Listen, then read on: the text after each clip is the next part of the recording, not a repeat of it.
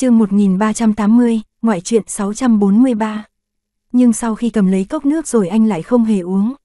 Không nhúc nhích thêm chút nào, anh chỉ cầm lấy ly nước, ngồi yên một chỗ, không nhìn cô nữa, chậm rãi lên tiếng, ôm theo ý nghĩ một đi không trở về để tới Israel. Quả nhiên vẫn là bị nghe thấy rồi. Phong Lăng không trả lời, đẩy bàn tay đang cầm cốc nước của anh. Uống đi, anh không động đẩy, chỉ ôm cốc nước, nói, nếu như ở lại Israel nhiều ngày nhưng vẫn không tìm được anh, em tính làm gì? Phong Lam hơi im lặng một lúc, nhưng em đã tìm được anh rồi. Nếu như không tìm thấy, nghe ra thì giọng điệu của lệ nam hành có vẻ rất bình thường, có lẽ do cơ thể còn đang ốm yếu, không có cách nào nhấn mạnh được, nhưng cho dù chỉ là một câu nói rất nhẹ nhàng thì trong hoàn cảnh yên tĩnh của phòng bệnh, nó cũng vang vọng, khiến người nghe không thể xem thường, nào, chúng ta thử đưa ra một giả thiết, nếu như cả một khoảng thời gian dài vẫn không tìm được, em tính làm gì? Không quay về Mỹ, cứ tiếp tục tìm, rõ ràng biết chỗ đó loạn lạc, cỡ nào, đầu đầu cũng chiến tranh, đầu đầu cũng nguy hiểm, bất kỳ lúc nào cũng có thể bị một quả bom từ trên trời rơi xuống đập chúng, vậy nhưng vẫn ôm lấy cái suy nghĩ một đi không trở lại để tìm. Khi nói chuyện, người đàn ông đặt cốc nước lên trên chiếc chăn, giữ hờ, từ đầu tới cuối không uống ngụm nào. Phong Lăng vốn không muốn trả lời cái giả thiết này, nhưng thấy anh có vẻ không định dễ dàng bỏ qua. Nơi như Israel quả thực không phải là một đất nước bình thường, khắp nơi đều khói đạn chiến tranh, đúng là một đất nước một khi đã đặt chân đến rất có thể sẽ chết ngay tại trận. Nếu như tìm không thấy thì tiếp tục tìm.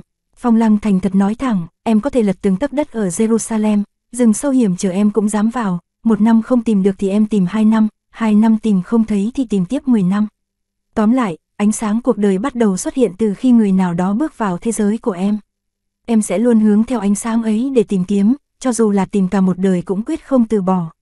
Dứt lời, cô nhìn lệ nam hành, hình như cô chưa bao giờ nói mấy lời đau lòng như này với anh, cũng chẳng rõ sau khi anh nghe xong sẽ có phản ứng như thế nào. Có lẽ là rất cảm động, sau đấy sẽ cảm thấy hối hận vì mấy ngày trước đã trốn không gặp cô khi ở Israel. Hoặc có thể nói cô bị chập mạch, trách cô không nên có cái suy nghĩ giờ hơi như vậy, phải tiếp tục sống tốt mới đúng. Nhìn chung, cô đã nghĩ sẵn xem tiếp theo nên đối phó như nào rồi. Kết quả, lệ nam hành chỉ chậm rãi nhấc cốc nước đã hơi nguội lên. Nhấp một ngụm rồi đặt xuống, rất bình tĩnh nói, vốn dĩ bác sĩ dặn sau khi anh xuất viện thì nên về nhà nghỉ dưỡng cho tốt, mấy ngày nữa nhà họ lệ định đưa xe tới đón anh về, sắp xếp khoảng 10 người đứng canh chừng trước giường, hưởng thụ cuộc sống cơm bưng nước rót tận miệng. Phong lăng, sao đột nhiên lại đổi chủ đề rồi? Sau đó, lệ nam hành lại bình đảm nói, thấy hiếm khi em mới có dịp tận tâm tận tình vì anh, lại không khống chế được cảm xúc ca yêu ta si động trong lòng mà tỏ tình với anh, anh quyết định, không về nhà họ lệ nữa. Anh sẽ rủ lòng thương, đến nhà em dưỡng bệnh vậy, để em hưởng thụ cảm giác một mình chiếm trọn anh. Phong lăng, không phải em còn một căn chung cư ở Los Angeles sao? Gọi người dọn dẹp lại chút, sắm thêm đồ dùng sinh hoạt là có thể vào ở rồi. Không gian của chung cư cũng tương đối rộng, anh cũng không ghét bỏ gì, cứ tới đó đi. Phong lăng dần phản ứng lại lối suy nghĩ lệch lạc kỳ quái của một bệnh nhân bị thương nặng như lệ nam hành, ý anh nói, căn hộ chung cư mà lúc trước anh mua cho em. Chẳng phải ngay phía trên là căn hộ của anh sao? Việc này có khác gì anh về nhà mình đâu. Đúng là không khác gì, của anh là của em, của em là của anh. Người đàn ông lại uống thêm miếng nước, sau đấy tỏ vẻ như chuyện này cứ quyết định như vậy đi, không bàn nhiều. Anh còn đưa cốc nước về phía cô, nguội rồi, giúp anh đổi một cốc nước ấm đi. Phong Lăng còn cho rằng mình nghe nhầm chỗ nào rồi, không phải anh nên cảm động sao? Kết quả của sự cảm động là để cô gánh vác trách nhiệm chăm sóc anh trong khoảng thời gian dưỡng.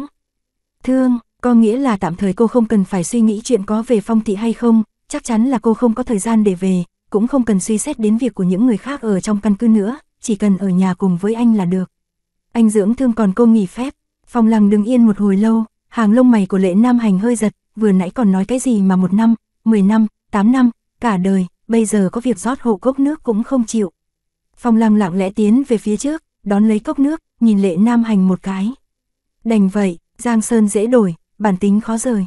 Người đàn ông bị thương đến mức này, cần tĩnh dưỡng cả năm trời mới có thể hồi phục thể trạng, cho dù là mắt không còn nhìn được nhưng xét cho cùng vẫn là lệ nam hành. Điều quan trọng bây giờ là anh lại học được một cách thức mới, có thể phát huy sự mặt dày của mình mà không biết ngượng là gì nữa. Sau khi rót nước ấm rồi quay lại, cô đặt cốc nước vào lòng bàn tay anh, để ý hành động đón lấy cốc nước rồi uống của anh, nhìn cái ít hầu khẽ động đậy khi anh uống nước, trong đầu cô đột nhiên hiện lên cảnh tượng đêm hôm đó khi ở khu biệt thự riêng của ngài Mai tại Washington. Nửa đêm, khi cô say rượu, cô nhớ là mình đã cắn lên ít hầu của anh, có vẻ như chỗ đó của anh vô cùng nhạy cảm, không biết vì sao đột nhiên cô chú ý đến ít hầu của anh.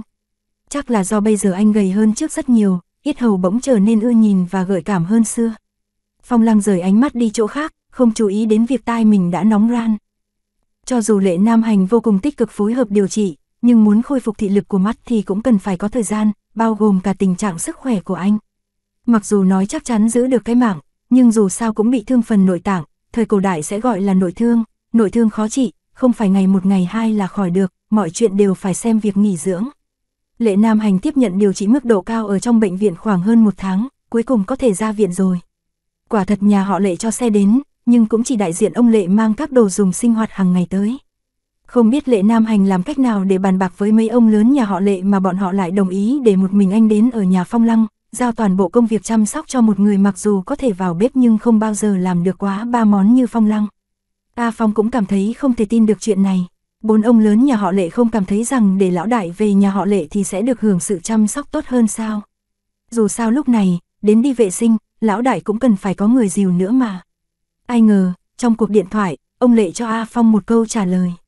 Không sao, không chết đói là được. A Phong bỏ điện thoại xuống, ngẩn người nhìn Lệ Nam hạnh phúc lớn mạng lớn bước lên xe của Phong Lăng. Bạn đang nghe chuyện trên kênh truyện Tiên Hiệp Audio, nếu thấy hay hãy like, share và nhấn nút đăng ký kênh để ủng hộ mình nhé. Chương 1381, ngoại truyện 644. Chương 644 Nam Hữu Phong Linh, Bắc Hữu Hành Mộc 644. Trên đường về căn hộ ở Los Angeles, xe của mấy người A Phong theo sát phía sau. Suy cho cùng, mặc dù nói, việc lão đại được Phong Lăng đưa đi cũng không có gì là không an toàn cả. Chuyện tình cảm của hai người bọn họ cứ hợp rồi lại tan bao nhiêu năm trời, hơn nữa chính Phong Lăng là người tìm và đưa lệ lão đại từ Israel về. Tóm lại, chắc chắn không bao có chuyện gì xảy ra. Nhưng họ vẫn phải tận mắt nhìn thấy người về đến chung cư an toàn mới yên tâm. Phong Lăng cảm ơn bác tài mà A Phong đã cử tới, sau đó tự mình lái chiếc xe Hammer G series của lệ Nam Hành mà anh vẫn thường chạy khi ở đây. Thông thường mà nói, để một người con gái tóc dài bồng bềnh lái chiếc xe như vậy thật sự không thích hợp một chút nào. Dù sao, chiếc xe này quá lớn, hơn nữa còn là kiểu dáng kinh điển mà phái mạnh ưa thích. Vậy nhưng khi Phong Lăng lái chiếc xe ấy, cảm thấy cũng không đến nỗi nào. Có lẽ cũng vì mọi người đã biết rõ tay lái của Phong Lăng đẳng cấp như nào, cũng biết được mặc dù bây giờ cô có vẻ ngoài giống một cô gái, nhưng bản chất thì không khác gì một người đàn ông. Nhất là bây giờ Phong Lăng chỉ đơn giản buộc tóc đuôi ngựa ở phía sau đầu, vừa thần thái lại vừa năng động, xinh đẹp trẻ trung, khiến người khác không khỏi ngoái nhìn. Đằng sau chiếc Hammer G Series là mấy con xe Hammer màu đen. Đang phóng như bay trên đường phố Los Angeles, Lệ Nam Hành được dìu lên xe, anh ngồi ở hàng ghế phía sau. Miếng vải vẫn băng bó phần mắt đã được tháo xuống, có điều vì vẫn cần phải thay thuốc mỗi ngày nên trên mắt còn dán băng gạc y tế. Và lại, bác sĩ có nói, vì có máu tụ trong đầu và bị ảnh hưởng bởi khói độc hóa học nên mắt của anh cần phải điều trị theo cả hai hướng. Bây giờ, đầu của anh không thể để bị va đập hoặc đụng chạm mạnh, cần ngồi im một chỗ, không thể mặc sức làm cản được. Mặc dù mắt không nhìn thấy nhưng anh vẫn có thể dùng được điện thoại, vẫn nghe điện thoại, nghe tin nhắn thoại ngon lành.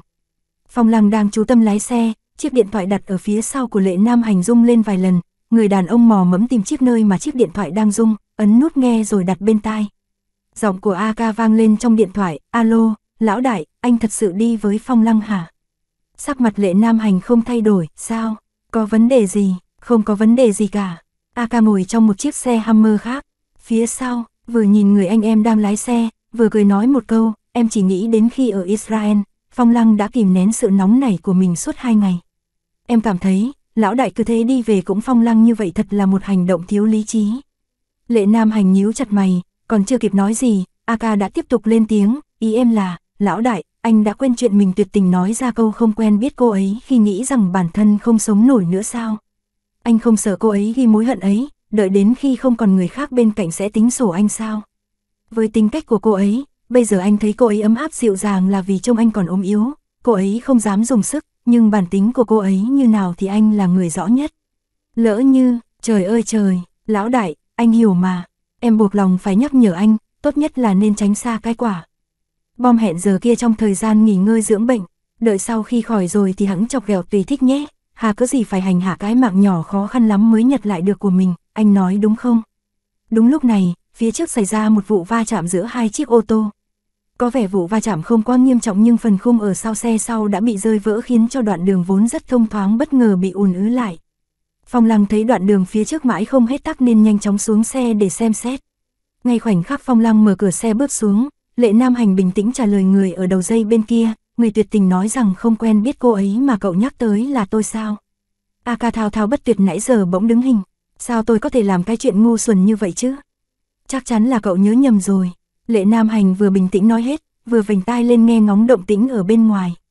Có lẽ Phong Lăng chỉ xuống xe xem xét tình hình một lát rồi quay lại, anh lại thấp giọng nói, cô ấy muốn cái mạng này của tôi thì dù bất cứ khi nào, bất kể nguyên nhân gì đều có thể lấy đi, không cần lý do.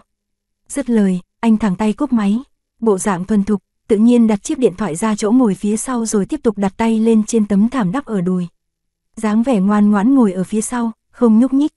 A ca, lệ lão đại, anh được lắm, người đã không thể động đậy được rồi mà vẫn có thể nghiêm túc mặt dày như vậy. Thì ra anh vẫn còn biết chuyện nói là không quen biết phong lăng khi ấy là một hành động vô cùng ngu ngốc. Bản thân không muốn thừa nhận chứ gì. A ca bị chọc tức đến bật cười. Anh ta bỏ điện thoại xuống, đưa tay lên day day chán. Người anh em thuộc đội ưu tú đang ngồi phía trước lái xe nhìn nhìn A ca qua gương chiếu hậu. Anh ca, hôm nay em nghe anh Phong nói căn cứ đã đến nhà xưởng sản xuất thiết bị y tế lớn nhất ở New York, đặt chế tạo một chiếc chân giả vô cùng linh hoạt với giá cao. Lâu nhất là khoảng một tháng sẽ hoàn thành để gửi đến cho anh. Đến lúc ấy anh có thể thoải mái mà đi bộ rồi. Anh Phong còn, nói sẽ tiếp tục để anh về huấn luyện ở đội bắn tỉa, để anh luyện tập thật tốt việc đứng vững bằng một chân và lực chống đỡ của cánh tay. Anh thấy thế nào, có phải sắp xếp rất hoàn hảo không? A ca nghe nói xong, lông mày hơi giật giật, sau đấy cười nói, căn cứ có dầu cơ nào cũng không bao giờ bỏ tiền với giá cao để đặt chế tạo chân giả cho riêng một người. Khoản tiền này chắc là do lệ lão đại hoặc phong lăng bỏ ra thôi. Người anh em đang lái xe bật cười, nói, nhìn thấu cũng không nên nói thẳng. Có thể nói người như anh đại nạn không chết ắt có phúc về sau. Sau này, những nhiệm vụ thực chiến trong căn cứ sẽ không tới lượt anh phải ra tay đâu, còn để cho anh nhậm chức huấn luyện gì đó, mỗi ngày sẽ đi đào tạo đám nhóc mới vào căn cứ, cho chúng nó xem cái chân giả của mình, kể về câu chuyện bản thân đã từng liệu mạng cho căn cứ. Nghĩ thôi đã thấy sướng rồi. Sướng, mẹ mày, thử bò ra từ chỗ chết người rồi còn bị mất một chân xem. Tao với mày đổi nha, xem mày có sướng nổi nữa hay không. Aka vớ lấy chai nước khoáng ở trên xe, dướng người về phía. Trước đập vào gáy người anh em đang lái xe, mẹ nó, đau chết tôi rồi. Người anh em đang lái xe cười ha hả, giơ tay đón lấy chai nước khoáng rồi đặt sang bên cạnh, tiếp tục đi theo chiếc xe ở phía trước. Phong Lăng quay lại xe, thấy Lệ Nam Hành đã cúp điện thoại rồi. Vừa nãy cũng không nghe rõ anh đã nói gì, bây giờ trông anh ngồi ở đó như không có chuyện gì xảy ra.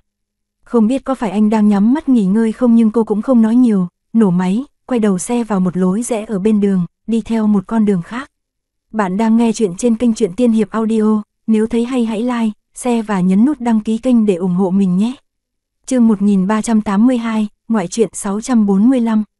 Chương 645 Nam Hữu Phong Linh, Bắc Hữu Hành Mộc 645. Xe dừng ở khu chung cư đã lâu không quay về. Đám người A Phong vốn định đi tới giúp dìu lệ nam hành xuống, ai ngờ, nửa người của anh đã sắp đè lên hết toàn bộ cơ thể của Phong Lăng, chẳng thèm nói bọn họ chạy tới đỡ giúp, vẻ mặt anh rất bình tĩnh, cứ thể để cô dìu xuống xe. A Phong thấy vậy, cảm giác nếu như lúc này nếu anh ta chạy qua đó, kéo lão đại ra khỏi người của Phong Lăng thì đúng là không hiểu chuyện chút nào nên đã nhanh chóng sai người lấy đồ đạc cần thiết và thuốc từ trên xe, mang vào trong trước. Đến khi lệ nam hành được dìu vào sảnh chính khu chung cư, mọi thứ đã được thu dọn ổn thỏa.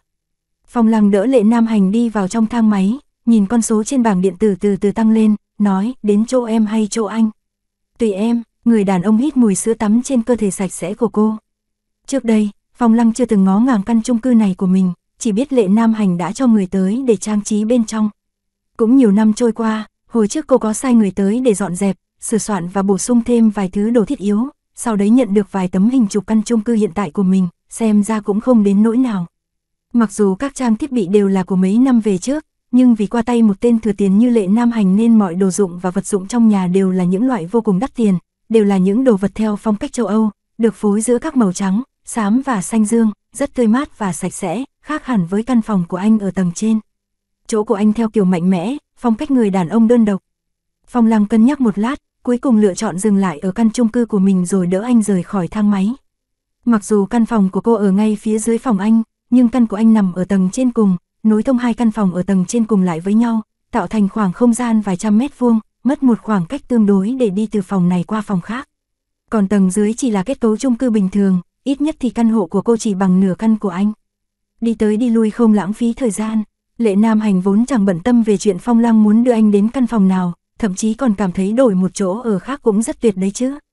Sau khi vào chung cư, bởi vì lâu rồi Phong Lăng không về lại chỗ này, mặc dù đang là buổi chiều, nhưng vì cửa sổ đóng lại nên phải mất một lúc mò mẫm trên tường, cô mới tìm được công tắc bật điện, sau khi bật đèn, cô dìu anh vào trong. Đến khi đỡ Lệ Nam Hành ngồi xuống sofa rồi, cô nhanh chóng đi thu dọn đồ đạc. Nghe thấy tiếng Phong Lăng đang bận tới bận lui dọn dẹp đồ đạc, Lệ Nam Hành vẫn ngồi trên ghế sofa, đắp tấm thảm trên chân, lần theo âm thanh rồi quay đầu nói em có mệt lắm không? Vừa mới quay về đã vất vả rồi, nếu không ổn thì để anh gọi nhà họ Lệ đưa xe đến. Không cần, không cần, Phong Lăng đang đặt mấy lọ thuốc mang về nhà vào tủ lạnh. Bởi vì mỗi ngày, mắt của Lệ Nam Hành cần được kết hợp giữa dùng thuốc và trường đá, sau khi trường đá xong mới được đi ngủ. Vậy nên những thứ này cần nhanh chóng bỏ vào trong tủ lạnh. Thật ra Lệ Nam Hành cũng không có ý định cầm điện thoại lên gọi cho nhà họ Lệ, chỉ ngồi im trên ghế sofa, tiếp tục nghe những tiếng động lạch cạch. Phong Lăng không quen thuộc căn nhà của mình, không biết là phòng ngủ và phòng để đồ ở đâu nên cứ mất công quanh đi quẩn lại mấy lần. Anh nghe thấy cô đứng ở đó thở dài, sau đấy lại tiếp tục bận bịu tới lui. Lệ Nam Hành chậm rãi nhếch môi, anh có đói không? Lúc này, Phong Lăng đã bắt đầu sắp xếp hành lý của mình và Lệ Nam Hành, vừa treo từng bộ đồ vào trong tủ, vừa hỏi người đàn ông đang ngồi trên ghế sofa ở ngoài phòng khách. Không đói, vậy đợi một chút, em sắp xếp gọn gàng đồ đạc xong sẽ đi nấu đồ ăn. Khi Phong Lăng nói vọng ra, thỉnh thoảng tay cô vẫn đụng vào cửa tủ, tạo ra một vài âm thanh va chạm. Giống như một loạt tiếng động của cuộc sống bình thường, Lệ Nam Hành không nhìn được, chỉ ngồi ở trên sofa, nhìn thẳng về phía trước, lắng nghe những âm thanh ấy. Phong Lăng dọn dẹp xong, nhanh chóng chạy tới đỡ anh đứng dậy. Có cần đi vệ sinh không?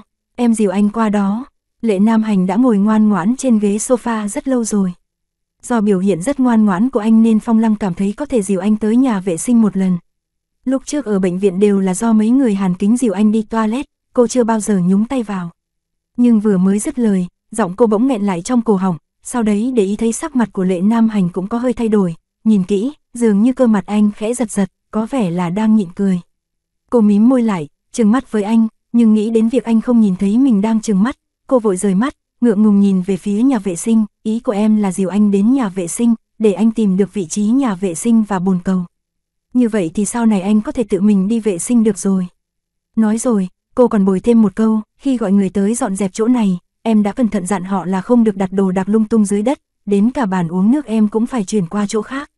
Sợ lúc anh đi lại sẽ đụng vào cái gì đó, hoặc vấp chân nên không lót cả thảm trải nhà. Anh đi đi lại lại vài lần là quen đường thôi. Ừm, người đàn ông nhịn cười, được, vậy trước mắt phiền Tổng Giám Đốc Phong dìu anh đi vài lần đã, còn nữa, anh không tìm được vị trí của bồn cầu, vậy em, đỡ, giúp anh nhé. Vừa nghe thấy vậy, vành tai Phong Lăng bỗng nóng ran, mơ hồ cảm thấy câu nói đỡ giúp anh một chút, đỡ này. Nghĩa của cái từ đỡ này là, lệ nam hành, anh phải biết rõ tình trạng hiện tại của mình, sức lực của anh yếu đến mức em có thể dùng gối làm ngạt chết anh bất cứ lúc nào, vậy mà vẫn muốn ngang ngược trước mặt em sao? Phong Lăng đổi từ việc dìu anh thành kéo anh đi, khi đến trước nhà vệ sinh, sau khi mở cửa, cô nhẹ đẩy phía sau anh một cái, tự anh vào đi, đi thẳng khoảng 2 mét, sau đấy rẽ phải, đi thêm một mét nữa, sẽ sờ thấy ở bên cạnh có một thanh kim loại treo khăn tắm, phía trước thanh kim loại ấy là bồn cầu. Anh tự mò mẫm là tìm được, dứt lời, cô thẳng tay đóng cửa nhà vệ sinh lại. Em cứ thế đẩy anh vào trong, dây thắt lưng trên quần anh còn chưa được cởi ra được, không vào giúp một tay sao. Khóe miệng phong lăng khẽ giật, cô liếc nhìn cánh cửa ở phía sau lưng, không phải thắt thành nút chết sao anh lại không tự cởi ra được chứ. Sau đấy ở bên trong không còn tiếng động gì nữa, một lúc sau, vang lên âm thanh của người nào đó đang đứng đi vệ sinh. Phong Lam quay đầu bỏ đi, mãi đến lúc nghe thấy tiếng xả nước vang lên, sau đấy đợi thêm một lát, chắc mầm anh đã mặc xong quần rồi, cô mới quay lại đó mở cửa. Khi cửa mở, Phong Lam thấy lệ nam hành đã tìm thấy chỗ bồn rửa tay một cách chính xác, còn dựa người vào cạnh bồn đá cầm thạch để rửa tay. Bạn đang nghe chuyện trên kênh truyện Tiên Hiệp Audio, nếu thấy hay hãy like, share và nhấn nút đăng ký kênh để ủng hộ mình nhé. Chương 1383, Ngoại truyện 646. Chương 646 Nam Hữu Phong Linh, Bắc Hữu Hành Mộc 646. Không biết vì lý do gì nhưng bây giờ nghe được tiếng nước, thấy người đàn ông sống sờ sờ đang đứng ở đó, ánh đèn nhà tắm chiếu rọi trên đỉnh đầu anh, nhìn thấy mái tóc hơi dài của anh, cô mới cảm nhận được sự chân thực, người đàn ông kia vẫn còn sống và đang đứng trước mặt cô. Có cần em cắt tóc giúp anh không? Phong Lăng bất giác nói. Lệ Nam Hành tiện tay đóng vòi nước lại, sau đấy vẩy vẩy tay một lát, sờ được chiếc khăn bông, lau sạch bàn tay. Quay người tìm hướng của cô rồi từ từ bước ra ngoài. nhận thấy anh rất nhanh đã có thể nắm rõ mọi phương hướng, ngóc ngách, vị trí trong cái nhà vệ sinh rộng chừng 10 mét vuông này. Phong Lăng đang đứng ở trước cửa rất tự giác lùi lại về sau một bước, nhường khoảng trống cho anh. Đến khi lệ nam hành nhờ vào cảm giác phương hướng của mình để đi ra ngoài, cô lại liếc nhìn về phía chiếc ghế sofa, nói anh có muốn thử đi từ đây đến chỗ ghế sofa không? Ai ngờ người đàn ông đứng im bất động, chôn chân tại chỗ, từ từ giơ tay ra, tỏ ý muốn cô dìu mình. Phong lăng không hiểu do đâu, rõ ràng khoảng cách từ đây tới chỗ ghế sofa chỉ có một đường thẳng, vốn không khó tìm, trong khi nhà. Tắm còn nhiều đồ như vậy, anh vẫn có thể nắm rõ được. Anh không đi nổi nữa, mệt quá. Người đàn ông trả lời cô một câu ngắn gọn. Phong lăng, có điều, cơ thể của anh đúng là rất yếu, mới đi vài bước đã mất hết sức cũng là chuyện bình thường. Cô chỉ đành dìu anh quay về, đến khi anh ngồi lại vào chỗ, người đàn ông mới nói sao đột nhiên em lại muốn cắt tóc giúp anh. Em thấy tóc anh dài rồi đấy. Cô vừa nói, vừa giơ tay sờ lên mái tóc của anh. Phải dài hơn khoảng 3cm so với bình thường. Kiểu tóc thường ngày nhìn có vẻ cực ngầu bây giờ trông rất ngoan ngoãn. Anh nhớ là em chỉ biết dùng kéo cắt đến mức ngắn nhất có thể, chẳng có tí thẩm mỹ nào cả. Lệ Nam Hành không che giấu sự chê bai của mình đối với cô trên phương diện này, may là lúc trước anh đã ngăn không cho em tự cắt tóc của mình, nếu không, sợ là cái đầu giống như Nico đấy sẽ trở thành vết mực đen tô đậm vào cuộc đời đã vô cùng đặc sắc của em. Phong lăng, thôi đừng cắt nữa, dù sao anh cũng không nhìn thấy, dài, ngắn, xấu, đẹp gì cũng chẳng liên quan đến anh, cùng lắm chỉ chướng mắt em thôi. Lệ Nam Hành vừa nói, vừa lần mò tìm tấm thảm trên chiếc ghế sofa rồi đắp lên chân mình, tỏ vẻ tự giác đúng như một người bệnh, chậm rãi lên tiếng, anh đói rồi. Trong nhà không có đồ ăn, Phong Lăng nể tình anh là một bệnh nhân nên không thèm so đo, chỉ lén lén trợn mắt một cái với anh, sau đấy nhấc điện thoại lên, để em xem siêu thị gần đây có nguyên liệu tươi sống không, gọi bọn họ mang lên. Ừm, Phong Lăng gọi điện thoại, quay đầu nhìn về phía lệ Nam Hành. Anh muốn ăn gì? Cá. Phong Lăng hơi ngập ngừng, nói một tiếng xin lỗi với đầu dây bên kia, thẳng tay cúp máy, quay đầu lại, nói, siêu thị gần đây không còn cá tươi, muốn mua thì phải đến siêu thị lớn hơn hoặc chợ hải sản ở cách đây khá xa mới có, có thể đổi món khác không?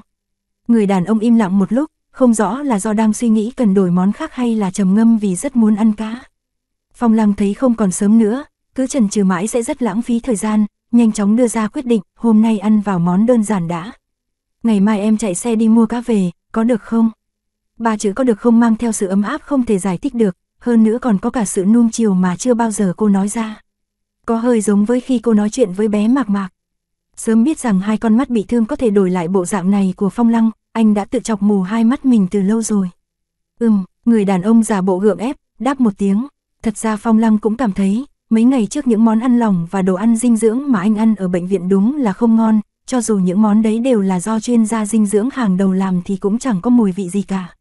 Hơn nữa tất cả đều là làm theo pháp đồ dinh dưỡng, không chú trọng đến khẩu vị của người thường chút nào, chẳng khác gì lệ nam hành uống nước lã bao ngày trời. Bây giờ ra viện rồi, mặc dù vẫn cần ăn đồ ít dầu, ít muối, nhưng anh đã có thể ăn mấy món có mùi có vị bình thường được rồi, cô cũng không muốn bạc đãi cái dạ dày của anh. Dù sao bây giờ, so với hồi anh còn ở Washington, anh cũng phải gầy mất 7, 8 cân rồi. Nhất định phải để anh ăn bù lại 7, 8 cân thịt này. Buổi tối, Phong Lăng làm mấy món ăn từ những nguyên liệu tươi mà siêu thị gần đó gửi tới, đương nhiên đều là những món ít dầu mỡ, thanh đạm và dễ tiêu hóa rồi. Trên điện thoại cô là những công thức nấu món ăn dinh dưỡng. Sau khi uống thuốc xong, Lệ Nam Hành ngồi trên ghế sofa, nhắm mắt nghỉ ngơi vài tiếng đồng hồ, Phong Lăng bảo anh về phòng đi ngủ nhưng anh không đi, chỉ nói là ngồi ở đây nghe những âm thanh trong bếp sẽ ngủ ngon hơn. Phong Lăng chẳng hiểu nổi, nhưng cũng mặc kệ anh, dù sao anh chẳng có sức mà chạy ra ngoài. Làm xong cơm, Phong Lăng rửa tay rồi rời khỏi phòng bếp, lúc này cô nghe thấy chuông cửa vang lên liền nhanh chóng chạy ra mở cửa. Vừa mở cửa đã nhìn thấy tiểu hứa đang đứng ở ngoài, tay còn sách theo hai con gà mái không biết lấy từ đâu ra, nét mặt hơi khó chịu, biểu cảm giống như rất sợ hai con gà này vậy. Sao cậu, Phong Lăng còn chưa nói hết câu, tiểu hứa đã nhanh chóng quẳng hai con gà mái vào trong, bởi vì chân của hai con gà bị buộc lại rồi nên chẳng sợ chạy mất, nằm đổ dạp dưới đất, kêu cục ta cục tác loạn cả lên. Phong Lăng cũng ngây người ra vì tình cảnh này. Em họ của cô tên Tần Thư Khả đúng không? Chẳng biết cô ta kiếm đâu ra số điện thoại của tôi, kêu tôi đem hai con gà mái này đến cho. Hai người, nói là để cho lệ lão đại uống canh gà bồi bổ thân thể, tránh việc cô đến chợ mua phải mấy con gà không ngon. Còn nói là đã phải gọi người đi đến trang trại để tìm hai con vừa mập, vừa to. Đấy, hai con đó. Nói xong, tiểu hứa còn chê bai, lùi lại phía sau một bước, mẹ nó, cầm súng ra chiến trường cũng không sợ, nhưng từ nhỏ tôi đã sợ mấy thứ mỏ nhọn này, đúng là sợ muốn chết mà. Phong Lăng đang cúi đầu xem xét hai con gà, Lệ Nam Hành đang ngồi trên ghế sofa ở sau lưng cô bỗng cất giọng sen ngang, tôi dưỡng thương chứ đâu ở cữ đâu mà mang gà mái tới làm gì. Tiểu hứa cười nhăn nhở, lão đại, anh không chấp nhận cũng không được đâu, tình trạng hiện tại của anh còn không bằng người ta ở cữ nữa kìa. Lát nữa để em kêu người đi bắt cho anh hai con chim để ăn bổ máu. Nhìn cái mặt trắng nhợt của anh, tĩnh dưỡng bao ngày trời mà vẫn thế, e là yếu đến mức không nhấc nổi gà lên đâu ha ha ha.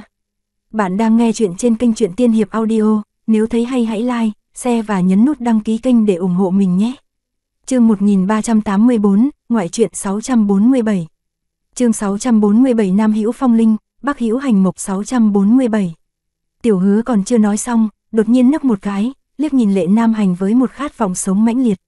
Nhưng hình như anh rất hài lòng về việc mình được Phong Lăng chăm sóc vào lúc yếu đuối như này, không cảm thấy đau buồn chút nào. Chậc chậc, nói cái gì mà nên chọn đến chỗ của Phong Lăng còn hơn là về nhà họ Lệ, thật ra vốn chẳng có ý định lựa chọn ấy chứ. Ngay từ lúc đầu anh đã có ý muốn ở cùng với Phong Lăng rồi. Dù sao, bao nhiêu năm trôi qua, cho dù là lúc ở trong căn cứ hay khi đã rời đi, dường như khoảng thời gian hai người ở riêng với nhau rất ít, cứ luôn bận tối mắt tối mũi. Còn về mấy ngày mà bọn họ sống với nhau trong rừng rậm, đương nhiên là tiểu hứa không biết rõ được nhưng cũng đoán ra vài thứ. Cô biết giết gà không? Tiểu hứa nhìn Phong Lăng, hỏi một vấn đề mấu chốt. Phong Lăng ngập ngừng lát, trả lời biết. Lệ Nam Hành vốn định lên tiếng nhờ tiểu hứa xử lý sạch sẽ hai con gà rồi hãng đi, nghe được chữ biết, câu nói của anh bỗng nghẹn lại, chỉ hơi nhếch mày, nhìn một cách tượng trưng về phía cửa. Tiểu hứa cũng cảm thấy không ổn cho lắm, nghiêm túc nhìn Phong Lăng, biết thật hả? Chưa bao giờ thấy cô giết, giết người còn biết, nói gì giết gà, chẳng phải chỉ cần cắt tiếp thôi sao? Nói rồi, cô dịch người, có muốn vào ngồi một lát không? Khỏi, khỏi, khỏi, khỏi cần vào trong ngồi đâu. Tiểu hứa nhanh chóng lùi về sau một bước, vẫy tay từ chối. Không biết là anh ta sợ hai con gà đang nằm dưới đất hay là sợ lệ nam hành đang ngồi trên sofa vừa bị anh ta nói đánh không lại cả một con gà. Vậy cô nhớ làm sạch sẽ chút đấy, đừng có để đến lúc nấu canh gà, trong canh lại toàn lông lá gì đó. Phong lăng đanh mặt, hay là cậu ở lại làm đi. Thôi thôi, mấy cái thứ mỏ nhọn như này tôi không chịu nổi đâu. Nếu là một con rắn thì tôi còn dám giết, tôi sợ nhất là mấy thứ này. Tiểu hứa lại vẫy vẫy tay, tôi đi đây. Cô chăm sóc lão đại cho tốt đấy, còn nhớ phải tự lo cho sức khỏe của mình nữa, đừng có đáp ứng đủ các nhu cầu của lão đại nhà chúng ta nhá. Phong lăng lại đanh mặt, lườm tiểu hứa một cái, trong lòng nghĩ, với trạng thái bây giờ của lệ nam hành, ngoại trừ muốn cô nấu cơm cho ăn, dìu đi vệ sinh ra thì còn có nhu cầu gì nữa. Lẽ nào một người bệnh bị thương nặng còn giờ được mấy trò lưu manh nữa sao? Cô không lên tiếng, tiểu hứa cũng biết điều mà im lặng, gãi gãi mũi sau đấy chạy biến như lắp motor vào. Phong lăng đóng cửa, cúi người xuống, xách hai con gà lên. Có lẽ hai con gà này biết rằng sắp bị cắt tiết rồi, tiếng quác quác quác càng ngày càng chói tai. Phong lăng sách chúng đi thẳng vào trong bếp, sau đấy, lệ nam hành không còn nghe thấy tiếng gì khác ngoài tiếng gà kêu. Anh cảm thấy không ổn, đứng dậy, định mò mẫm tìm. Đường đi tới nhà bếp, bất ngờ nghe thấy mấy tiếng choang, choang, choang, không còn tiếng gà kêu nữa. Phong lăng phủi phủi tay, rửa sạch tay rồi đi ra ngoài, hai người nhìn nhau, anh làm gì đấy? Lệ Nam Hành, không biết vừa nãy cô đã dùng thứ gì để đập mất hai con gà. Đột nhiên Lệ Nam Hành bật cười, vừa cười vừa thở dài, ngồi xuống lại ghế sofa, không hổ là người con gái do anh dạy dỗ. Phong lăng lườm anh một cái, lệ lão đại tự mình dạy em cầm súng giết người, lẽ nào còn sợ em đập chết hai con gà mà tay dính máu tanh sao? Không có, không có. Lệ Nam Hành phì cười, anh sợ em không đủ dứt khoát, nhỡ bị chúng nó mổ vào tay, anh sẽ đau lòng đấy dù sao cũng đều là những thứ tầm thường đứng đầu trong bảng xếp hạng thức ăn, cũng chẳng cao xa gì cả. Chỉ là hai con gà thôi mà, dù sao ngày mai em còn phải giết cá nữa kìa. Phong lăng liếc xéo anh một cái, đến lúc này rồi không không quên cá của anh. Lệ Nam Hành dựa lưng vào sofa rất thoải mái, ừm, có gà, có cá, có vợ, bây giờ xem như là khoảnh khắc mãn nguyện nhất của cả đời người rồi. Phong lăng mặc kệ anh nịnh nọt, chỉ nói, mấy món vừa mới làm xong sắp nguội rồi. Tiểu hứa cũng không ở lại ăn cùng, anh còn không ăn thì mình em ăn đấy nhé. Lệ Nam Hành ngồi ở sofa, giơ tay ra, anh không tìm được chỗ bàn. Ăn, Phong Lăng đi tới dìu anh đứng dậy. Khi người đàn ông được đỡ dậy, dường như anh còn ghé sát vào cổ Phong Lăng người một lát. Phong Lăng nhanh chóng dịch sang bên cạnh để tránh, nhìn anh mà chẳng hiểu gì, anh ngửi cái gì đấy. Ngửi xem có mùi máu gà hay không. Em còn chưa giết, đồ ăn hôm nay đã làm xong cả rồi, để mai hoặc ngày kia gì đó rồi tính. Phong lăng dìu anh đi tới bên cạnh bàn ăn rồi ngồi xuống, cầm bộ bát đũa đặt vào tay anh. Sau đấy cô đứng bên bàn ăn, nhìn anh mò mẫm trên bàn, hỏi có cần em đút cho ăn không? Mấy ngày lệ nam hành ở bệnh viện, hầu như đều có người đút cho ăn, bởi vì anh không nhìn được, cho dù dùng loại bát đũa nào thì việc tìm đúng vị trí của nó cũng rất khó khăn. Nhưng bây giờ mãi mới được ra viện, anh không muốn để người khác đút cho mình ăn nữa, anh không trả lời ngay lập tức mà thử đưa tay ra dùng đũa đụng thử vào cạnh mấy chiếc bát ở trước mặt. Có lẽ Phong Lăng nhìn ra được suy nghĩ của anh, không đụng vào anh nữa mà nhanh chóng cẩn thận đầy bát đĩa trên bàn di chuyển tới những chỗ mà anh có thể dễ dàng chạm vào. Nếu như có hơi lệch, cô sẽ nhanh chóng đẩy sao cho thìa, đũa của anh rơi vào bên trong bát, có thể vừa vặn gắp được đồ ăn ở bên trong. Lệ Nam Hành thử tự mình ăn một lúc, khóe miệng hơi cong lên, mùi vị rất tuyệt. Tay nghề của em đã tốt hơn hẳn so với hồi nướng thịt run, luộc thịt chim ở trong rừng rồi đó. Sao, hai năm qua không phải bận chuyện làm ăn của Phong Thị sao, vẫn còn thời gian rèn luyện tay nghề nấu nướng hả? Không luyện tập, cũng thật sự không có thời gian. Bây giờ các món mà em biết làm ít lắm, nhưng ít nhất không để bản thân bị chết đói. Phong Lam lại để ý lúc anh gắp thức ăn, nhẹ nhàng dịch chiếc bát trước mặt anh, vừa làm, vừa nói, khoảng thời gian ở anh, còn cả lúc ở phong thị nữa, em không quen có người chăm sóc ở cạnh. Tần Thư Khả cũng không chịu xuống bếp, em cũng quen dần với việc thi thoảng làm một vài món đơn giản để ăn. Có thể cũng tiến bộ đôi chút, nhưng cũng không được tính là tiến bộ rõ rệt. Lệ Nam Hành khẽ cười, lại giơ thìa ra, đặt nửa vời ở chỗ cạnh bát canh trước mặt, được rồi, không cần phối hợp dịch đồ đạc với anh nữa, cùng lắm thì lau mấy giọt canh bắn ra ngoài thôi, luyện vài lần là sẽ quen thôi. Em ngồi xuống ăn cùng anh luôn đi, thật ra động tác dịch mấy chiếc bát, đĩa rất nhẹ, không ngờ anh vẫn nghe thấy được. Nhìn hình động đưa đũa vào mâm gắp thức ăn một cách chính xác của anh, mặc dù vẫn còn chút lạ lắm, ngượng gạo, nhưng với khả năng thích ứng của lệ nam hành, có lẽ chỉ khoảng vài ba ngày, khi anh ăn cơm đã có thể giống như người bình thường được rồi. Bạn đang nghe chuyện trên kênh truyện Tiên Hiệp Audio, nếu thấy hay hãy like, share và nhấn nút đăng ký kênh để ủng hộ mình nhé. chương 1385, ngoại truyện 648 chương 648 Nam Hữu Phong Linh, Bắc Hữu Hành Mộc 648. Sau bữa ăn, Phong Lăng rất chu đáo, đi gọt hoa quả, đều là những loại trái cây mềm như chuối, nho, sau khi cắt thành miếng nhỏ thì đặt chiếc đĩa vào tay Lệ Nam Hành. Bây giờ, Lệ Nam Hành cứ mong manh yếu đuối đắp tấm thảm trên chân, ngoan ngoãn ngồi ở ghế sofa, trong tay cầm một đĩa trái cây nhỏ, trên đĩa còn có thêm một chiếc dĩa.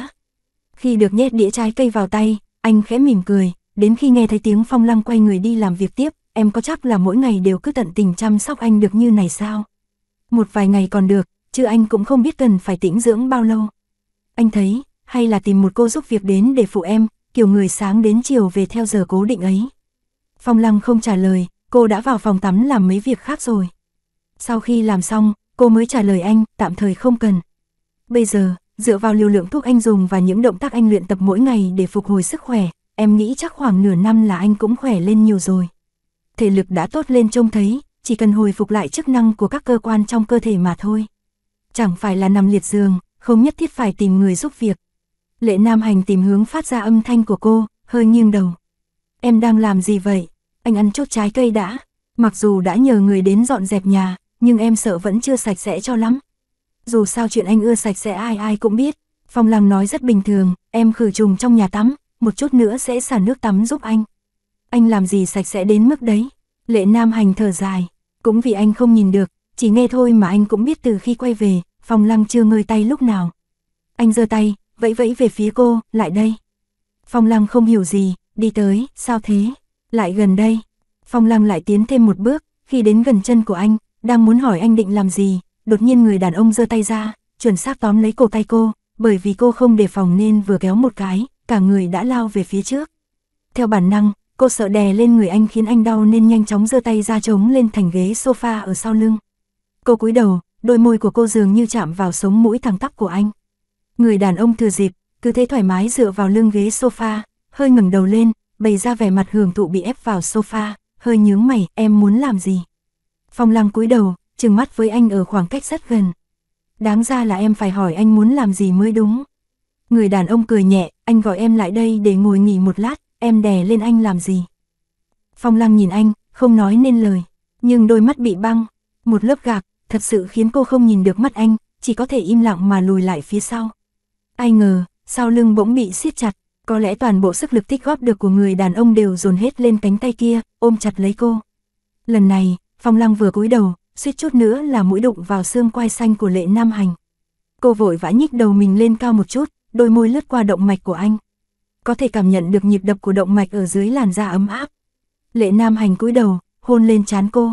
Phong Lăng đang muốn dẫy thoát khỏi anh, nhưng vì cái hôn nhẹ này mà ngơ ngẩn một lúc, cô không động đậy, chỉ khẽ nói em đè lên vết thương, anh không đau sao. Đã khép miệng rồi, nghỉ ngơi thêm chút là khỏi thôi. Em cũng không nặng mấy, chẳng đau chút nào. Người đàn ông nói rồi ôm cô chặt hơn, nói để em chăm sóc anh, chỉ là muốn ở riêng với em mà thôi, không cần phải bận rộn mãi thế. Anh chỉ không nhìn thấy thôi chứ không phải nằm liệt giường, rất nhiều chuyện không cần phải tận tình chu đáo quá, hiểu chưa? Phong Lăng im lặng một lúc rồi mới thấp giọng vâng, cô không dám nói thêm, bởi vì chỉ cần mở miệng, môi của cô sẽ chạm vào động mạch của anh. Động mạch của anh cứ đập liên hồi một cách chân thực như vậy khiến lòng cô như thắt lại. Không phải lúc nào cô cũng có thể cảm nhận được sức sống của anh, cảm nhận được việc anh đang sống ở bên cạnh mình. Ngồi xuống nghỉ lát đi, anh có thể tự tắm được. Đợi lát nữa rồi nói chuyện đó. Phong Lăng không chịu đựng được cái cảnh dính sát lên cổ anh như này, nhanh chóng lùi lại ra sau, đồng thời cũng đẩy nhẹ anh ra. Lệ Nam Hành không cố gắng kéo cô lại, có điều khi cô đứng dậy, anh vô ý sượt tay qua tai cô, sờ thấy tai cô nóng hơn bình thường. Anh nhanh chóng tìm kiếm hướng cô đang đứng, quay đầu qua. Phong lang hắng giọng một tiếng, rồi nhanh chóng chạy vào nhà tắm khử trùng. Lần này cô dứt khoát đóng cửa phòng tắm lại, tránh việc anh lại nghe thấy tiếng cô cọ rửa bồn tắm ở bên trong. Thật ra tình trạng của lệ nam hành hiện giờ không thích hợp ngâm bồn, Phong Lăng đã cân nhắc rất lâu. Cho dù bồn tắm đã được khử khuẩn sạch sẽ rồi nhưng vẫn nên để lệ nam hành tắm qua rồi đi ra thì hơn. Bởi vì phòng tắm rất nóng, không tốt cho những vết thương trên người anh, chúng mới chỉ lên lớp da non rất mỏng ở ngoài thôi. Sức khỏe của lệ nam hành đã tốt hơn nhiều so với hồi mới quay trở lại Los Angeles, nhưng mỗi ngày ở bệnh viện đã cố định giờ giấc đi ngủ và đồng hồ sinh học của anh. Vậy nên còn chưa đến 9 rưỡi tối, Phong Lăng đã dắt anh vào phòng ngủ. Cô vuốt phẳng chiếc chăn bông mềm rồi dìu anh nằm xuống giường. Mặc dù lệ nam hành nói cô đi ngủ sớm nhưng vì Phong Lăng chưa tắm rửa, thay đồ nên nói đợi một lát. Đến khi cô ra ngoài uống cốc nước rồi quay vào, người đàn ông đã dần chìm vào giấc ngủ. Phong Lăng đi lại khẽ khàng, không đánh thức anh dậy. Ngày hôm say, lệ nam hành bị một chàng tiếng loảng xoảng làm cho tỉnh giấc. Cũng không tính là giật mình, ít nhất thì cho dù anh ngủ say cũng không quên là mình đang ở đâu, anh biết mình đang ở căn chung cư của Phong Lăng. Kết quả, mới sáng ngày ra đã vang vọng âm thanh này. Người đàn ông mở mắt, nhưng trước mặt vẫn là bóng tối, tuy nhiên tối hôm qua, lúc trường đá thuốc cho mắt, đôi mắt anh đã không. Còn quấn băng gạc nữa, anh thử tìm phương hướng trong bóng tối, mò mẫm một hồi, cuối cùng vẫn vấp phải chiếc ghế sofa đơn ở cách cửa phòng ngủ không xa. Âm thanh vấp phải đồ không quá lớn, bản thân anh cũng không ngã xuống. Nhưng Phong Lăng ở bên ngoài nghe thấy tiếng động, nhanh chóng bỏ con gà mình đang giết dở xuống, vội vã chạy vào trong phòng, mở cửa ra liền nhìn thấy lệ nam hành đang giơ tay mò mẫm. Bạn đang nghe chuyện trên kênh truyện Tiên Hiệp Audio, nếu thấy hay hãy like, share và nhấn nút đăng ký kênh để ủng hộ mình nhé. Chương 1386, ngoại truyện 649. Chương 649 Nam Hữu Phong Linh, Bắc Hữu Hành Mộc 649. Thấy một chân của anh bị kẹt bên ghế sofa thì Phong Lăng ngạc nhiên hỏi, anh tỉnh khi nào đấy? Vừa tỉnh thôi, Lệ Nam Hành thả tay xuống rồi quay sang cô, vừa rồi bên ngoài có tiếng gì vậy? À, em đang làm gà, làm ồn anh hả? Em biết làm à, em lướt mạng thì thấy công thức làm gà nên làm một con thử xem sao, cũng được đấy chứ, rất thành công. Một tay sạch sẽ của Phong Lăng đang đặt trên tay nắm cửa, tay còn lại có dính chút máu, cô mặc một bộ đồ ở nhà đơn giản, tóc dài được buộc sau gáy, thoạt nhìn dịu dàng đầm thắm, nhưng khi mổ gà thì mặt lại tỉnh bơ. Lệ Nam Hành, chuyện này mà cũng có công thức à? Có chứ, Phong Lăng nói xong thì lại nhìn chân của anh, anh dịch chân sang bên phải chừng 10cm, rồi đi thẳng về phía trước là đến phòng khách. Ghế sofa trong phòng khách cách cửa phòng ngủ chừng 6, 7 mét, ở giữa không có chứng ngại vật gì cả, anh có thể tự đi được không? Được, ừm, thế em đi làm gà tiếp đây. Nói xong, Phong Lăng mở cửa phòng ngủ ra giúp anh rồi quay trở lại nhà bếp. Lệ Nam Hành giờ khóc giờ cười, anh dựa theo hướng dẫn của cô, dịch chân sang bên cạnh rồi đi ra ngoài phòng ngủ, sau đó lại chậm chậm bước về phía trước để đo lường khoảng cách, sau khi đến được vị trí đã ước lượng thì quả thật đụng vào mép ghế sofa ở trong phòng khách. Anh sờ lưng ghế, lại ngoảnh đầu tìm kiếm âm thanh phát ra từ nhà bếp, tưởng tượng cảnh Phong Lăng đang làm gà, không hiểu sao lại nhớ đến A ca từng nói về chuyện anh không chịu nhận cô qua điện thoại kia. Trái tim của lệ nam hành bỗng run lên, anh xoay người ước chừng phương hướng rồi đi về phía nhà bếp, đưa tay sờ bức tường suýt nữa va vào, rồi lần theo đến trước cửa phòng bếp, sau đó ló đầu vào trong thăm dò. Phong Lăng đang ngồi xổm trên đất miệt mài chiến đấu, nghe thấy tiếng động liền quay đầu lại thì bắt gặp nửa khuôn mặt với đôi mắt không có tiêu cự đang ngó vào xem cô làm việc của lệ nam hành. Không hiểu sao vẻ mặt rất thức thời này của anh khiến đôi mắt của Phong Lăng khẽ giật vài cái. Có cần giúp gì không? Lệ Nam Hành hỏi, Phong Lăng liếc anh một cái, anh thì giúp được gì? Bình thường trái tim của Lệ Nam Hành luôn vô cùng kiên cường, cho dù bị Phong Lăng châm biếm cũng không hề bị tổn thương, có lẽ chỉ trừ lúc ở Israel khiến anh cảm thấy bản thân không sống nổi nữa nên mới né tránh. Còn nếu không phải đối diện với cái chết thì dù bây giờ Phong Lăng có tức giận vì anh không thấy được, anh cũng không cảm thấy mất mát gì. Người đàn ông đó cứ đứng trước cửa bếp thò cái đầu vào, rồi đăm chiêu, đứng bên cạnh hướng dẫn em thì sao? Em hạ dao là chặt được ngay một cánh gà, phải cần anh hướng dẫn à? Phong Lăng tiếp tục cúi đầu hí hoáy xử lý con gà đã sắp xong kia, cũng có phải ở căn cứ đâu mà cần anh hướng dẫn em cầm súng như thế nào. Lệ Nam Hành đứng ở trước cửa mỉm cười. Phong Lăng lại cúi đầu xử lý thêm một lúc, sau đó bỗng quay lại, thế mà Lệ Nam Hành vẫn chưa đi. Bây giờ mắt anh không cuốn băng, dù không nhìn thấy gì nhưng anh cứ đứng ở đó ngắm nhìn cô, cũng thật là. Anh có thể về ngồi nghỉ trên ghế sofa được không? Đợi lát nữa em sẽ đắp thuốc cho anh, đừng đứng đó nữa. Sao thế? Anh đứng ở đây em không xuống tay được. Lệ Nam Hành nhíu mày, khẽ gật đầu như thể rất hiểu tâm trạng của cô lúc này, rồi xoay người lần mò rời đi. Sau khi dọn dẹp xong nhà bếp lộn xộn, Phong Lăng chỉnh lại quần áo có hơi nhăn nheo trên người mình, sau đó quyết định đi tắm rửa cho sạch sẽ. Tắm xong thì đi lấy thuốc được bác sĩ dặn phải đắp đúng giờ cho lệ nam hành ra, rồi đi đắp thuốc giúp anh. Động tác của Phong Lăng rất nhẹ nhàng, mỗi lần đắp thuốc là như thể sợ đụng phải mắt làm anh đau, nhưng lại không thể không chạm tay vào được. Lệ Nam Hành nhắm hai mắt, rồi chậm rãi nói, nếu cả đời anh không nhìn thấy được thì em cũng đâu thể cứ đắp thuốc cho anh mãi như vậy. Tại sao lại không? Giọng của Phong Lăng rất bình tĩnh, hoàn toàn không bị câu nói của anh tác động, vẫn nhẫn nại chuẩn bị băng gạc cùng thuốc đắp, bác sĩ đã nói rồi, bởi vì trong não anh có máu đông đè lên dây thần kinh thị giác, cộng thêm khí độc hóa học nên mới như vậy, rồi sẽ khỏi thôi. Có thể sẽ nhìn thấy được ngay, cũng có thể 10 năm 20 năm sau vẫn chưa sáng mắt, nhưng ngày nào cũng phải tuân thủ lời dặn của bác sĩ, tóm lại không để sai sót gì xảy ra là được rồi. Nghe giọng điệu của em kìa, cứ mãi nặng tình với người tàn tật mù lòa anh đây mà không ghét bỏ à. Người đàn ông cười bảo, Phong Lăng giúp anh quấn băng xong, rồi nhích về sau cẩn thận kiểm tra xem băng gạc có được quấn ngay ngắn không, tránh cho bên cao bên thấp lại thành trò cười. Xem xong cô lại tiến đến chỉnh lại băng gạc ở mắt trái, vừa chỉnh vừa nói, tất nhiên là không rồi, anh đã gặp em khi mới mười mấy tuổi, cũng đã gặp em lúc hai mươi mấy tuổi, khoảng thời gian xinh đẹp nhất của em anh đã chứng kiến tất cả, cũng sẽ mãi mãi lưu giữ hình ảnh đó trong tim. Ừm, thế thì sao? Nếu như sau này anh vẫn không nhìn thấy gì thì cũng không sao cả, ít ra cũng không nhìn thấy được dáng vẻ già nua của em. Phong lăng chỉnh băng gạc bên mắt trái anh lên cao một tí, cảm thấy khá hài lòng với trình độ đắp thuốc ngày càng lên cao của mình. Cô đang định đi ra thì người đàn ông kia bỗng kéo tay cô lại rồi nắm lấy. Anh muốn thấy, anh nắm lấy tay cô, trong giọng nói bình tĩnh mang theo sự kiên định. Muốn thấy, thấy gì cơ? Thấy dáng vẻ dần lão hóa trong mấy chục năm tới của cô sao? Sự mơ hồ này như thể đang nói rằng hai người đã ước định sẽ cùng nhau sống đến già, khiến người ta bỗng cảm thấy tim đập nhanh hơn, Phong Lăng nhìn cánh tay đang nắm lấy cô kia. Cô ổn định lại tâm trạng rồi mới nói, có một chuyện anh vẫn chưa trả lời em. Chuyện gì? Chuyện của TM Minh, còn cả chuyện một tỷ vốn đầu tư nữa, sao lúc đó anh lại biết em muốn làm hai việc này nhất? Bao gồm cả những dòng vốn sạch sẽ được lưu trong nội bộ TM Minh, vừa khéo lại có thể thêm vào nguồn tài chính của phong thị để xoay vòng vốn khẩn cấp, tất cả đều giúp em đúng lúc ngàn cân treo sợi tóc, là do em uống say rồi nói với anh đúng không? Lệ Nam Hành khẽ cong môi thả tay cô ra, sau đó ung dung kéo chiếc chăn mỏng ở trên đùi lên cao, em không biết bản thân sau khi say sẽ như thế nào à? Tất nhiên là không biết rồi. Lệ Nam Hành cười, lúc đó em ôm chân anh gọi chồng ơi chồng à, nũng nịu cầu xin người chồng thân yêu giúp em giải quyết TM Minh và Phong Minh nhất, cầu xin chồng thân yêu giúp em nhận được vốn đầu tư một tỷ, thấy dáng vẻ cầu xin của em rất cảm động nên anh không đành lòng từ chối, vừa rời khỏi khu nghỉ dưỡng là bắt đầu hành động ngay. Phong Lăng, cô quay đầu nhìn xung quanh, rồi bỗng nhìn sang nhà bếp. Lệ Nam Hành nhíu mày, sao không nói gì cả? Em đang làm gì đấy? Vẻ mặt Phong Lăng vô cảm, em đang tìm con dao chặt gà vừa nãy.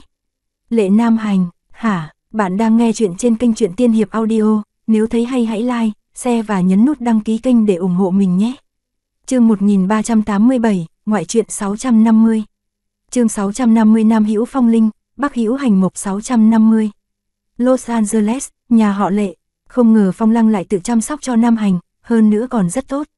Cụ ba nhà họ Lệ nghe được truyền tin về, thành thơi ngồi trong vườn hoa sau nhà vừa uống trà vừa nói. Cụ tư nhà họ Lệ đang cho chim ăn liếc cụ ba một cái, ông lấy tin ở đâu thế? tôi mua được từ cậu nhóc tiểu hứa thường ngày đi theo Nam Hành kia, bảo cậu ta thỉnh thoảng qua lại tặng quà chỗ Phong Lăng và Nam Hành, cho dù có khiến bọn nhỏ nghi ngờ cũng không sao cả, cùng lắm chỉ cho rằng mấy lão già chúng ta đang lo lắng cho bọn nó mà thôi. Cụ ba nhà họ lệ chật chật vài tiếng rồi bảo, nghe tiểu hứa nói sau khi Nam Hành xuất viện đã đến chỗ Phong Lăng nghỉ ngơi điều dưỡng cả nửa tháng nay, thoạt nhìn sắc mặt đã tốt lên rất nhiều rồi. Cộng thêm Phong Lăng ở bên cạnh mọi lúc mọi nơi, tôi nghĩ tốc độ hồi phục sẽ nhanh hơn so với ở bất kỳ đâu đây chứ. Cụ tư nhà họ lệ lại cười nhạo, nhớ hồi Nam Hành còn nhỏ, nó nghịch đến mức có vào vườn hoa này nhảy giếng cũng là chuyện bình thường, lúc đó chúng ta đều nghĩ thằng nhóc này lớn lên chắc chắn sẽ thành lưu manh không chịu nghe lời. Mẹ nó, ai mà ngờ vứt nó vào căn cứ nhiều năm như vậy, giờ nó lại thành một tên si tình, dồn hết tim gan cho vợ mình, còn mấy chuyện khác thì chẳng thèm. Đếm xỉa, đệt, quả thật là y cái tính của ông nội nó. Đúng lúc này, ông nội của lệ Nam Hành, lão đại của nhà họ lệ lệ quân diên chống gậy đi ra, nghe thấy câu nói đó thì lườm bọn họ một cái, cái gì giống tôi. Thì cái máu si tình từ trong tùy của Nam Hành chứ gì, y đúc hồi ông còn trẻ chứ đâu, nếu không phải vì bà nội nó ra đi sớm quá thì bây giờ chắc ông vẫn còn đang đội vợ lên đầu cưng chiều hết mực ấy. Cụ ba cười, lệ quân diên lạnh mặt, lười nói chuyện, cụ hai nhà họ lệ ở bên cạnh bật cười chen lời vào, anh cả của chúng ta mấy chục năm qua chỉ nặng tình với một người phụ nữ duy nhất là bà nội của Nam Hành mà thôi, còn mấy cô khác thì ông ấy còn chẳng thèm liếc lấy một cái nữa là, bà nội của Nam Hành chắc phải tích đức mấy đời mới khiến cho anh cả chúng ta trung tình đến vậy nhỉ. Cụ tư cười, đúng đấy, trong mắt anh cả thì trên đời này chỉ có một người phụ nữ duy nhất, đó là bà nội của Nam Hành, còn mấy cô khác thì đều là bịch phấn hoặc là quỷ khóc nhè, không ai lọt nổi vào mắt xanh của ông ấy cả. Lệ quân diên, cụ ba nhíu mày lại bảo, nên mới nói đừng thấy tên nhóc Nam Hành này lưu manh quá như thế mà nhầm, trong xương tùy nó vẫn đang tuân theo truyền thống tốt đẹp của mấy cụ nhà họ lệ chúng ta, trung tình không thay lòng. Đã nhận định ai thì chỉ có người đó, những cô gái khác đều như phù du, chỉ cần một người là đã đủ cho nó chết lên chết xuống rồi, chỉ là không biết đến lúc nào nó mới có thể cưới được người ta về nhà. Ây, tôi nghĩ cũng khó đấy. Cụ hai bỗng cười nhạt lắc đầu. Ba cụ già đều đồng loạt quay đầu về phía cụ hai hỏi, khó gì. Cụ hai nhướng hàng mày bạc trắng lên, bị thương thành ra như thế, bây giờ nó yếu đến nỗi còn không đánh lại được cô gái như phong lăng nữa, chẳng biết có còn khả năng nối dõi tông đường không. Mấy ông cụ bỗng trầm mặc, chắc không đâu, hẳn là không thể nào. Ừm, cháu trai chúng ta làm gì đều có tính toán sẵn, lúc bị nổ tung đó chắc chắn nó đã che được. Khó nói, khó nói lắm, nếu có vấn đề thật thì phải làm sao? Lão đại nhà họ lệ lệ quân diên bỗng lạnh lùng ho khan một tiếng, ông hắng giọng một cái là ba cụ già kia lập tức im lặng hết. Lệ quân diên lạnh lùng nói, bắt đầu từ ngày mai, bảo tiểu hứa kia phải đưa nhiều đồ bổ đến cho bọn nó, thiếu cái gì thì bù cái đó, hải sâm, lộc tiên, ngưu tiên, cả các loại thực phẩm chức năng tráng dương bổ thận, đưa hết đến cho chúng. Sáng sớm, Phong Lăng vẫn như mấy ngày gần đây, giúp lệ nam hành đắp thuốc lên mắt rồi xoa bóp đầu để làm tan bớt máu bầm đè lên dây thần kinh thị giác của anh. Lúc chuông cửa vang lên thì không cần đoán cũng biết là tiểu hứa cứ cách hai ngày là chạy đến tặng đồ. Ban đầu cô còn tưởng là Tần Thư Khả liên lạc với anh ta, nhưng qua vài lần thì cũng cơ bản đoán được rằng có lẽ bốn cụ già nhà họ lệ bảo tiểu hứa đến đây quan sát tình hình. Phong Lăng đi đến mở cửa, nghĩ rằng chắc tiểu hứa lại mang tặng đồ ăn gì đó thôi, không ngờ lần này tiểu hứa lại cầm theo hai cái hộp. Hi, chào buổi sáng. Trong giây phút thấy Phong Lăng mở cửa thì tiểu hứa nở nụ cười. Phong Lăng thản nhiên, chỉ nhìn anh ta một cái, hôm nay lại đem gì đến đấy. Tiểu hứa không phí lời nữa mà đưa thằng hộp sang, mấy thứ này, ừm, về sau mỗi ngày cô cứ hầm cho lệ lão đại ăn một ít nhé, làm thành súp hoặc cứ đun nước bình thường rồi ăn, đều được hết. Phong Lăng nhận lấy cái hộp, chỉ nhìn rõ vài chữ gì mà đại bổ này nọ, nên gật đầu rồi bảo, được, tôi biết rồi. Vậy tôi không làm phiền hai người nữa, hai ngày sau tôi lại đến, cô nhớ phải cho lão đại ăn đấy nhé, nhất định phải ăn đó. Ừ, còn nếu cô muốn thì cũng có thể dùng, nhưng mà chỉ nên ăn một ít. Thôi nha, thấy vẻ mặt khó hiểu của Phong Lăng, tiểu hứa không nói gì nữa, cười hì hì rồi vẫy tay chuồn ngay tắp lự. Phong Lăng khó hiểu nhìn bóng lưng đi đến cửa thang máy của tiểu hứa, sau đó đóng cửa lại, cầm hộp quà đi vào trong. Lại đưa gì sang vậy? Lệ Nam Hành cũng không còn ngạc nhiên với chuyện này nữa, vẫn ngồi trên sofa nhắm mắt như cũ, hẳn còn đang chờ Phong Lăng đến mát xa giúp mình. Phong Lăng không nói gì, chỉ đặt hai cái hộp này xuống bàn trà trước sofa, sau đó mới nói hai hộp đồ bổ. Quà à, lệ nam hành buồn cười, mấy cụ già đó đều là trưởng bối, đưa quà gì cho anh chứ? Anh còn đang nói thì Phong Lăng đã mở hộp, lấy mấy sản phẩm đã được tinh chế ở trong hộp ra. Hải Sâm, Phong Lăng nói, lệ nam hành vừa nghe lời này thì lập tức quay mặt sang phía cô. Thận heo, Phong Lăng tiếp tục đọc, lệ nam hành, thận dê, lộc tiên, thịt hươu, ngưu tiên, thịt rùa, Lệ Nam Hành, Phong Lăng mở hai cái hộp ra, nhìn một lượt xong thì vẻ mặt khó hiểu, mấy thứ này bổ gì nhỉ? Bổ khí huyết à, mấy ngày trước đưa đến thịt gà, vịt, ngỗng, với mấy loại canh thuốc thì đã đành, còn mấy thứ này là sao? Trước đây em chưa từng thấy qua, luộc thế nào đây? Luộc nước trắng thôi sao? Lệ Nam Hành cạn lời bóp chán, mấy ông cụ nhà họ Lê kia tưởng anh bị thương ở đâu chứ? Gửi nhiều thực phẩm tráng dương bổ thận đến là sợ anh bị bất lực à? Thấy Lệ Nam Hành không nói gì, Phong Lăng ngước mắt lên nhìn anh, anh biết chế biến mấy thứ này không? Lệ Nam Hành giờ khóc giờ cười, xua tay, trước hết cứ để đó đã, anh không cần mấy thứ này đâu. Bạn đang nghe chuyện trên kênh truyện Tiên Hiệp Audio, nếu thấy hay hãy like, share và nhấn nút đăng ký kênh để ủng hộ mình nhé. Chương 1388, ngoại truyện 651. Chương 651 Nam Hữu Phong Linh, Bắc Hữu Hành Mộc 651. Đều là đồ bổ cả đấy, ăn vào chắc chắn sẽ có hiệu quả tốt cho cơ thể, sao lại không cần được. Phong Lăng cảm thấy kỳ quái, Lệ Nam Hành thả tay đang bóp chán xuống, lại ngước mắt lên, dù không nhìn thấy gì nhưng lại chuẩn xác nhìn thẳng vào khuôn mặt Phong Lăng, em nhất định muốn anh ăn à. Đây là của nhà họ Lệ bảo tiểu hứa đem đến, đồ tốt thì phải ăn rồi. Phong Lăng đặt mấy món đồ này vào hộp lại, vừa đặt vào vừa đáp. Lệ Nam Hành bật cười, được rồi, thế em chuẩn bị tâm lý cho tốt vào. Chuẩn bị gì, Lệ Nam Hành không nhịn cười được nữa, anh ngả người dựa vào lưng ghế sofa ở phía sau, em cứ để đó trước đã, đầu anh đau, mát xa cho anh đi. Lúc này Phong Lăng mới rời sự chú ý khỏi những hộp đồ bổ này, sau khi đặt mọi thứ vào hộp xong mới đi đến ghế sofa bên cạnh, đưa tay lên xoa bóp cho anh, còn đau không? Lệ Nam Hành không đáp, nhưng khóe miệng lại hơi cong lên, như thể vừa rồi đã xảy ra chuyện gì buồn cười lắm vậy. Phong Lăng cúi đầu nhìn anh một lát, nhưng không có hỏi gì nhiều, chỉ xoa bóp một lúc xong rồi lại đắp thuốc lên mắt cho anh, lúc đáp thuốc cô vẫn thấy khóe miệng anh mang theo ý cười, thấy vô cùng khó hiểu. Lệ Nam Hành, hôm nay tâm trạng anh tốt lắm à? Tâm trạng anh luôn tốt mà, sao thế? Phong Lăng cất hộp quà đi, dù sao những thứ này vẫn có thể tạm giữ lại được, dễ bảo quản hơn nhiều so với mấy thứ thịt gà vịt ngỗng cần phải lập tức xử lý ngay mà lúc trước ngày nào tiểu hứa cũng đem đến kia, nên quả thật không cần gấp làm gì. Cô nhầm tính, nửa tháng trước anh nói muốn ăn cá, kết quả nửa tháng nay tiểu hứa đem đến nhiều đồ ăn quá, nên em không có cơ hội làm cá cho anh được, hôm nay còn muốn ăn không?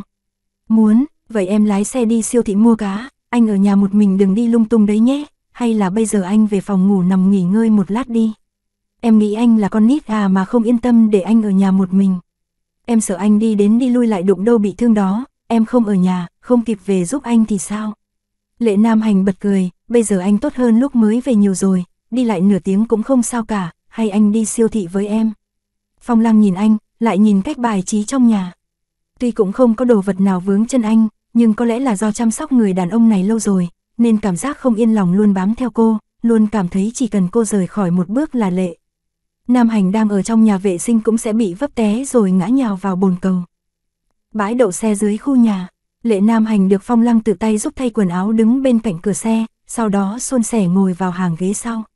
Sao không để anh ngồi ghế phó lái? Lệ Nam Hành hỏi, ngồi đằng sau an toàn hơn. Phong Lăng giúp anh đóng cửa xe lại rồi vòng đến phía trước, ngồi vào ghế lái. Lệ Nam Hành đang ngồi trong chiếc xe rộng rãi vốn thuộc quyền sở hữu của mình, anh cong môi lên, ngồi ở đây không phải đồng nghĩa với việc xem em thành tài xế sao. Xem em là cái gì cũng được, an toàn là được. Phong Lăng cũng không giải thích gì mà dứt khoát lái xe ra khỏi bãi. Đây cũng là lần đầu tiên Phong Lăng dẫn Lệ Nam Hành ra ngoài một mình sau nhiều ngày kể từ khi anh xuất viện, mấy ngày trước cùng lắm là chỉ dìu anh đi tới đi lui ở ban công rồi ngồi nói chuyện hoặc sưởi nắng mà thôi. Của Phong Lăng là bây giờ thân thể của Lệ Nam Hành không thể chịu thêm một va chạm mạnh nào cả, cho dù anh có chịu được thì cô cũng không dám để anh bị va đập dù chỉ một chút. Dù cô rất tự tin với kỹ năng lái xe của mình, nhưng vẫn sợ lỡ như xảy ra chuyện gì bất ngờ, nên vẫn không dám mạo hiểm để anh ngồi vị trí phó lái. Lệ Nam Hành hiểu được suy nghĩ của cô nên cũng không nhiều lời, thế nhưng không thể không thừa nhận, tuy tính cách của Phong Lăng thẳng thắn, nhưng bản chất thì cô vẫn có rất nhiều điểm thuộc về phụ nữ, rất tinh tế, chẳng qua là cô không thể hiện ra quá nhiều. Mà thôi, hơn nữa chỉ có những người hiểu rõ về cô và trong những sinh hoạt thường ngày mới có thể cảm nhận được sự tinh tế này, nhất là những sự ấm áp ẩn sâu trong mỗi một lời nói không mặn không nhạt của cô, tất cả đều rất chân thật. Siêu thị cách nơi này không quá xa, lái xe chưa tới 10 phút đã đến nơi, chỗ đỗ xe cũng khá dễ tìm. Lúc dừng xe, Lệ Nam hành lục lọi trong hộp cửa xe, lấy ra một cái kính dâm đem theo trước khi ra khỏi nhà rồi đeo lên. Chủ yếu là do trên mắt anh vẫn còn đắp hai miếng băng gạc, ở nhà thì thấy rất bình thường, nhưng nếu để vậy ra ngoài thì sợ người ngoài nhìn vào lại tưởng anh tự đâm mù hai mắt mình. đeo kính vào thì ít nhất người đi ngang qua sẽ không nhận ra điều khác thường, cùng lắm chỉ coi anh là một tên mù mà thôi. Phong lăng dìu anh xuống xe, lúc này đã gần giữa trưa nên ánh nắng khá gắt, dù lệ nam hành đã mang kính, không nhìn thấy gì nhưng vẫn nheo mắt lại theo bản năng. Phong lăng để ý đến động tác nhỏ này của anh thì vội hỏi, anh thấy được ánh nắng đúng không? Nếu trên mắt không có băng gạc thì có lẽ sẽ thấy được, nhưng bây giờ mắt còn dán băng gạc đây này, sao thấy được gì, anh chỉ theo bản năng cảm nhận ánh nắng mà thôi. Lệ Nam Hành cười nhẹ, Phong Lăng không nói nữa, dìu anh đến trước thang máy ở ngoài cửa siêu thị. Trong thang máy, Lệ Nam Hành đút một tay vào túi quần, tay kia được Phong Lăng dìu, hình như trước đây anh thích nhất là khi ra ngoài được Phong Lăng kéo qua kéo lại đi đây đi nọ mà không cần phải kiêng kỵ điều gì, cuối cùng vào lúc này đây anh cũng đã được thỏa lòng. Một tay Phong Lăng đỡ anh, một tay thì cầm bản đồ siêu thị vừa lấy được ở chỗ dưới thang máy, đang tìm xem khu bán cá ở đâu. Hôm nay anh mặc quần áo màu gì thế? Lệ Nam Hành rảnh rỗi hỏi cô. Phong Lăng dìu anh ra khỏi thang máy rồi đi đến cửa chính của siêu thị, vừa đi vừa đáp, đồ thể thao màu đen, hai ngày trước em lên mạng mua cho anh, hôm nay là lần đầu mặc đấy, rất vừa vặn. Em thì sao, em mặc màu gì? Em á, Phong Lăng bớt chút thời gian cúi đầu xuống nhìn quần áo trên người mình thử, đồ thể thao màu trắng, kiểu giống với bộ anh đang mặc đấy, rất thoải mái. Khóe miệng lệ nam hành lại cong lên, đồ đôi hà. Phong Lăng yên lặng một lúc, cứ cho là thế đi, sao lại cho là thế được, cùng mua một lúc thì chắc chắn là mua chung một shop rồi, cùng là quần áo thể thao, lại là hai màu trắng đen tương xứng nữa, không phải là đồ đôi thì là gì. Không ngờ em cũng biết được mấy chuyện nhỏ nhặt kiểu này khi yêu đương đấy, anh còn tưởng em không biết gì cả. Em chỉ tùy ý mua hai bộ quần áo rộng rãi thoải mái để mặc thôi, hai năm trước toàn mặc đồ công sở gò bó đến chán mấy rồi. Đừng thanh minh nữa, anh hiểu tâm ý của em mà. Lệ Nam Hành đeo mắt kính vinh vào đắc ý đi về phía trước. Phong Lăng, đừng xấu hổ, anh nhận mà, sau này cứ mặc vậy đi. Phong Lăng, bạn đang nghe chuyện trên kênh truyện Tiên Hiệp Audio, nếu thấy hay hãy like, share và nhấn nút đăng ký kênh để ủng hộ mình nhé. Chương 1389, ngoại truyện 652. Chương 652 Nam Hữu Phong Linh, Bắc Hữu Hành Mộc 652. Trong siêu thị, Lệ Nam Hành bước nhanh về phía trước như thể thấy được đường đi vậy, rõ ràng phía trước có người đang đẩy xe mua sắm chắn ngang thế mà vẫn đi thẳng đến, suýt nữa đã va vào người ta. Nhọc cho Phong Lăng phải đi theo sau vừa lôi vừa kéo, chỉnh lại hướng đi giúp anh, cô lại vội kéo lấy một xe mua sắm đẩy ở trước mặt, lệ nam hành không chịu, cũng đưa tay đặt lên thanh đẩy bảo, anh giúp em. Trong lòng Phong Lăng, ha ha, anh cứ ngoan ngoãn đi theo phía sau em, đừng đi là cũng đừng đụng vào đồ gì nữa là được, còn giúp kiểu này còn phiền hơn không giúp nữa cơ. Mặc dù trong lòng nghĩ thế, nhưng vì không muốn làm trái tim nhỏ bé có chút yếu đuối của lệ nam hành bị tổn thương nên cô nhịn. Dù sao khi dẫn một người tàn tật ra đường thì không nên đi dạo quá lâu, Phong Lăng dứt khoát định tốc chiến tốc thắng, vội vàng lấy ca cùng các loại nguyên vật liệu cần thiết, cô cứ đi thẳng về trước như thế, tốc độ khá nhanh. Lệ Nam hành thân cao chân dài nên vẫn theo kịp cô, hơn nữa vừa nãy còn toàn ngồi trong xe, không phải đi lại nhiều nên vẫn còn sức. Lúc sắp đến khu bán đồ tươi sống, Lệ Nam hành nói sắp đến nơi. Rồi, biết được bây giờ mũi và tai của anh rất nhạy. Phong Lăng không đáp mà dứt khoát đẩy xe qua, tiện thể dẫn Lệ Nam hành cùng đi. Cô chọn hai con cá, dạo gần đây cô toàn tự làm gà vịt ngỗng mãi cũng chán, thế là cô gọi nhân viên siêu thị đến làm sạch giúp cô. Trong lúc đợi cá được làm sạch thì cô đẩy xe đi mua nguyên liệu nấu kèm, ừm, còn tiện thể mua cho Lệ Nam hành đồ ăn vặt, đậu phộng, nhãn, táo đỏ, các loại thực phẩm bổ khí huyết. Tất nhiên Lệ Nam hành không thấy được những thứ này đều được bày bán ở sát khu bán đồ vệ sinh phụ nữ, không thì có lẽ đã đứng tại chỗ nghiêm mặt bảo đổi chỗ mua rồi.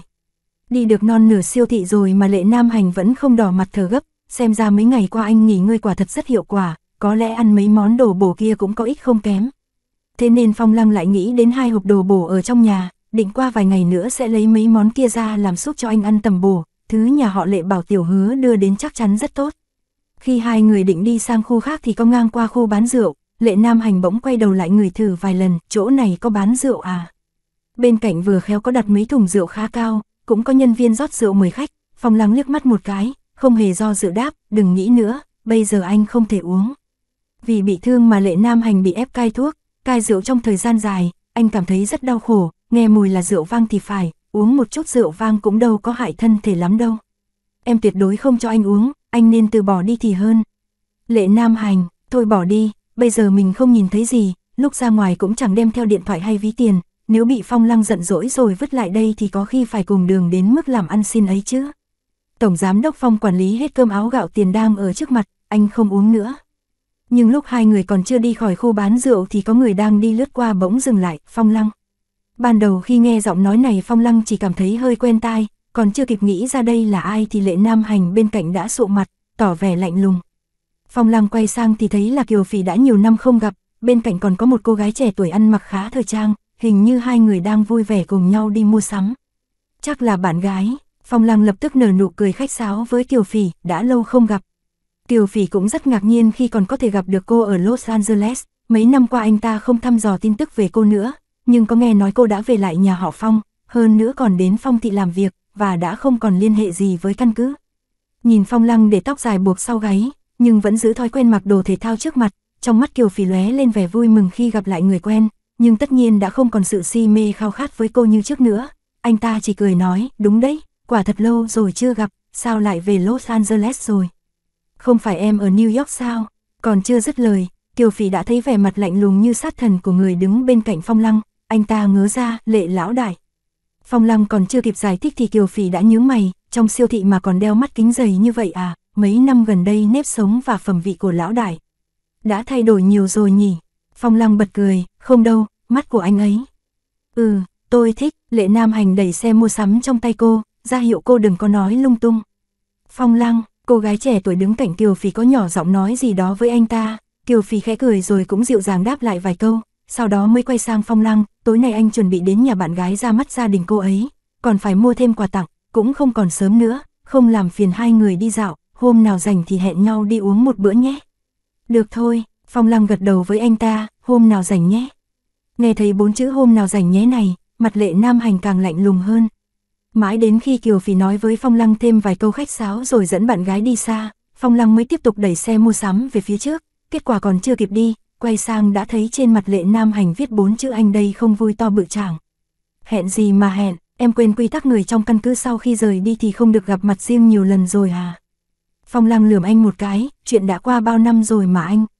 Còn ghen cho bằng được, không thấy Kiều Phỉ còn dẫn theo bạn gái sao? Không thấy, lệ nam hành ăn ngay nói thật, phong lăng, giận lắm, nhưng không nói gì được, thế cũng phải nghe được chứ, người ta nói muốn ra mắt bố mẹ bạn gái kia, vừa nãy cô bạn gái kia đi cùng anh ta đấy, người ta yêu đương đằm thắm như vậy thì thấy rõ đang buông bỏ tình cảm với em từ lâu rồi, anh còn ghen gì nữa. Anh ta buông bỏ mà còn hẹn làm gì, đó chỉ là câu khách sáo thôi, ngay trước mặt bạn gái mà còn hẹn cô gái mình từng thích đi uống rượu, mục đích không trong sạch, thế mà em còn đồng ý. Phong lăng siết tay lại, nghiến răng nói, thế nếu dựa theo lời anh nói, sau khi rời khỏi căn cứ thì không được gặp riêng quá nhiều lần, vậy hai chúng ta là sao đây? Bây giờ em nên đưa anh về nhà họ lệ rồi cả đời không qua lại với anh luôn nhỉ? Lệ Nam Hành cứng họng, một lúc vẫn không nói được gì, đến khi cảm giác được phong lăng dứt khoát mặc kệ anh rồi đẩy xe đi về phía trước mới vội vàng chạy đuổi theo, dựa theo tiếng động mà vội vã kéo tay cô lại, chuyện này khác mà, hai chúng ra cùng rời khỏi căn cứ, hai ta là một thể thống nhất không phân chia trong ngoài gì cả, không giống với họ kiều họ chó họ mèo kia. Anh tránh ra, phong lăng không muốn để ý đến bình giấm chua 10.000 năm này nữa. Không đi được, không thấy gì hết, sẽ bị ngã đấy, vết thương còn. Chưa lành đâu, Lệ Nam Hành kéo tay cô không buông, đồng thời một tay khác đè lên ngực mình. Phong Lăng cũng đưa tay lên ôm ngực, cảm giác bản thân chắc cũng sắp nội thương đến nơi. Bạn đang nghe chuyện trên kênh truyện Tiên Hiệp Audio, nếu thấy hay hãy like, share và nhấn nút đăng ký kênh để ủng hộ mình nhé. Chương 1390, ngoại truyện 653. Chương 653 Nam Hữu Phong Linh, Bắc Hữu Hành Mộc 653. Cũng may là Kiều Phỉ dẫn bạn gái theo thật, hai người bọn họ đã yêu đương thắm thiết quyết ở bên nhau từ lâu, không thì chẳng biết lệ nam hành sẽ sầm mặt đến mức nào nữa. Phong lăng không để ý đến anh, lệ nam hành thì đi theo ngay sau, dù sao với tình trạng hiện tại của anh, cô thật sự không thể vứt anh một mình ở đây được. Lệ nam hành đặt một tay lên thành xe đẩy, tay kia thì đút vào túi quần rồi cứ thế đi theo cô, cá đã được làm sạch, phong lăng đi đến lấy về, lúc quay đầu lại thấy lệ nam hành vẫn ngoan ngoãn đặt một tay lên thành xe, không hề rời đi một bước, lòng cô mềm nhũn dù sao anh cũng không nhìn thấy nên cô liền nở nụ cười đầy bất đắc dĩ. Lúc trước Kiều Phỉ ở căn cứ anh đã ghen, bây giờ cũng vẫn ghen, anh quan tâm cô đến mức này luôn à. Rốt cuộc cô có chỗ nào tốt chứ? Phong Lăng nhẹ nhàng đặt túi cá vào trong xe đẩy, sau đó đi đến đứng trước mặt lệ nam hành, nhưng vẫn duy trì khoảng cách chừng một mét, cô cứ lặng lẽ đứng như thế ngước nhìn người đàn ông cao hơn cô ít nhất một cái đầu. Vừa nãy cô bước đến cũng rất nhẹ nhàng, không phát ra âm thanh nào, chỗ này người người tới lui nhộn nhịp, chưa chắc anh sẽ nghe ra được là cô. Lệ Nam Hành đứng ở đó, quả nhiên đợi một lúc mà vẫn không nghe thấy tiếng cô trở lại, vẻ mặt vẫn thản nhiên, nhưng cơ thể ban đầu còn ung dung đứng chờ nay đã dần dần ưỡn thẳng lên, sau đó nghiêng đầu sang khu hải sản tươi sống nhìn một lúc. Có vẻ như anh không chắc cô rốt cuộc đi mua món khác hay là còn việc gì chưa xong, nhưng anh không thấy gì lại không thể đi lung tung được, dù sao mắt anh đang bị mù, nếu mà đi thật thì không ai biết sẽ xảy ra chuyện gì. Nhất là nếu lát nữa Phong Lăng trở về mà phát hiện anh không ở đây thì chắc chắn sẽ rất giận. Lệ Nam Hành vẫn đứng ở đó không nhúc nhích, nhưng ban đầu anh vốn tùy ý đặt tay trái lên thành xe đẩy, còn tay kia thì đút vào trong túi quần, còn lúc này thì cả hai tay đã cùng đưa lên vịn vào tay đẩy. Chỉ là một động tác đổi tay rất nhỏ, thế mà đã thay đổi từ dáng vẻ ung dung thành ngoan ngoãn vịn tay đẩy xe chờ hàng chờ cô về tìm mình. Phong Lăng cảm thấy hơi buồn cười, cô bỗng đưa tay lên giúp anh chỉnh lại mắt kính, nhưng người đàn ông kia vẫn vô cùng nhạy cảm, trong giây lát đã nhanh chóng nắm chặt lấy cổ tay của cô, tuy không thấy được mắt của anh, nhưng trong khoảnh khắc ấy vẫn cảm nhận được hơi lạnh tỏa ra từ anh. Nhưng cũng chỉ trong chốc lát, khi nhận ra được người trước mặt là Phong Lăng, ý lạnh trên mặt người đàn ông này nhanh chóng tàn đi, đồng thời rời bàn tay đang nắm chặt cổ tay cô xuống một chút, đổi thành nắm lấy tay cô, sao lâu thế mới về.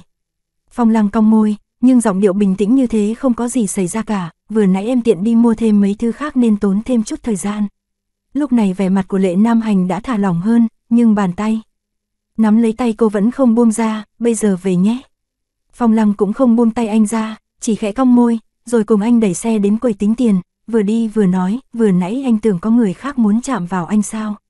Em lặng lẽ đến trước mặt anh như thế, bỗng nhiên cảm giác được có người đưa tay đến, trong giây đầu tiên thì người bình thường cũng sẽ sinh tâm lý phòng bị, giọng nói của lệ nam hành khá bình tĩnh. Thế nhưng nếu như đã nói vậy thì cũng chứng minh bây giờ anh đã hiểu được rằng vừa nãy cô cố ý đứng trước mặt anh không lên tiếng. Còn nói đi mua thêm mấy thứ khác, chẳng qua là cái cớ lừa anh mà thôi, anh không chấp cô làm gì. Thấy người đứng chờ trước quầy tính tiền khá đông, Phong Lăng dứt khoát dẫn Lệ Nam Hành đến máy tính tiền tự động thanh toán, sau đó cầm hai túi đồ rời khỏi siêu thị. Sau khi xuống dưới, đặt hết đồ vào trong xe Phong Lăng nhìn sắc trời, lại híp mắt nhìn ánh nắng vàng, thời tiết rất đẹp. Anh muốn về thẳng nhà hay tìm chỗ nào không khí trong lành đi dạo một vòng. Em thấy anh hôm nay vẫn còn sức đi đấy. Phong Lăng cũng đánh giá theo lực nắm của anh khi bắt lấy cổ tay cô ban nãy, vì thế có thể thấy được dù hiện tại cơ thể lệ nam hành cần nghỉ ngơi và tĩnh dưỡng, thể lực cũng kém hơn so với trước kia rất nhiều, nhưng lúc thật sự gặp phải tình huống khẩn cấp thì anh cũng không quá yếu. Tùy em thôi, lệ nam hành đứng bên cạnh xe, nghe tiếng cô bỏ đồ vào sau cốp, anh cũng quay mặt tìm đến ánh nắng mặt trời, hình. Như cũng cảm nhận được tiết trời hôm nay thật sự rất đẹp nên nói tiếp, hình như trên đường về có một công viên vui chơi nhỉ. Dù sao trước kia khu nhà đó cũng là nơi lệ nam hành thường xuyên lui đến, các công trình kiến trúc xung quanh đấy anh còn biết rõ hơn cả phong lăng. Hình như thế, em không để ý lắm, đến công viên đó đi dạo đi. Phong lăng cảm thấy hơi khó hiểu, hai người lớn như bọn họ không tìm mấy công viên cây xanh nào để tàn bộ và sưởi nắng, còn chạy đến công viên vui chơi làm gì. Nhưng ngẫm nghĩ thì hình như công viên vui chơi kia cũng thuận đường về nhà của hai người, không cần phải quay đầu đổi hướng xe, lại vừa khéo ở ngay trên đường về nên rất tiện, cô cũng không có ý kiến gì, được thôi, vậy đến đó đi dạo một lát. Lệ Nam Hành khẽ cười, Phong Lăng liếc nhìn anh, phát hiện từ sau khi người đàn ông này bị thương, có lẽ vì mắt anh không còn nhìn thấy được gì nên vẻ mặt khi cười lên không còn thiếu đòn như trước nữa, rõ ràng vẫn là anh, nhưng hình như đã thay đổi các thói quen nhỏ nhặt, trở nên cẩn thận hơn một chút. Sự cẩn thận này bắt nguồn từ đôi mắt của anh, dù ngoài miệng chưa từng nói anh có để ý đến chuyện nhìn thấy được hay không, thế nhưng nếu ngày nào cũng chìm trong bóng tối, không biết là ngày sáng hay đêm đen, thì dù là ai cũng sẽ thấy khó chịu. Phong Lăng đóng cốp xe lại, kéo tay anh, đỡ anh đến trước cửa xe đã mở, nào, lên xe đi, đến công viên trò chơi. Hình như lệ nam hành còn hơi quyến luyên ánh nắng rực rỡ ấm áp. Dễ chịu ở bên ngoài, Phong Lăng vào trong xe xong thì lập tức mở cửa sổ sau ra giúp anh, dù sao cũng không lạnh, mà thời tiết bên ngoài cũng không nóng đến mức phải mở điều hòa. Sau khi lái thẳng đến công viên vui chơi, Phong Lăng tìm một chỗ đậu xe gần cửa chính công viên nhất, lúc xuống xe vừa khéo thấy được bên ngoài công viên có một con đường kéo dài mãi vào bên trong, hai bên đường bày bán các món đồ chơi cho con nít, còn có những sạp hàng ăn vặt, xung quanh có rất nhiều cô cậu nhóc đang thổi bong bóng xà phòng. Em đưa Mạc Mạc đến nhà họ Phong rồi à? Lệ Nam Hành nghe thấy tiếng cười đùa của trẻ em xung quanh, vừa được Phong Lăng dìu đi vừa nhỏ giọng hỏi. Ừ, đưa đến chỗ ông bà nội em rồi, như thế cũng có người quây quần với họ, em cũng yên tâm hơn một chút. Bạn đang nghe chuyện trên kênh truyện Tiên Hiệp Audio, nếu thấy hay hãy like, share và nhấn nút đăng ký kênh để ủng hộ mình nhé. Chương 1391, ngoại truyện 654. Chương 654 Nam Hữu Phong Linh, Bắc Hữu Hành Mộc 654.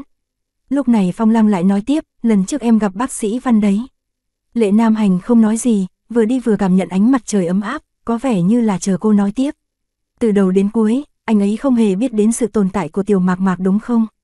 Một hồi sau lệ nam hành mới nói, anh cũng chỉ biết đại khái, văn nhạc tình cũng không phải kiểu người chuyện gì cũng sẽ kể khổ, oán trách với người khác. Bình thường anh với cô ấy cũng không tiếp xúc gì với nhau, chỉ thỉnh thoảng nghe được vài chuyện lặt vặt từ những người họ hàng nhà họ lệ với nhà họ văn thôi. Nghĩa là anh cũng không biết tại sao chị ấy lại chọn con đường này. Cũng không biết tại sao chị ấy lại giấu chuyện đứa bé hả. Chuyện tình cảm giữa cô ấy và Văn Lận Hàn cũng không có ai biết, sao anh biết được nhiều vấn đề bên trong thế được.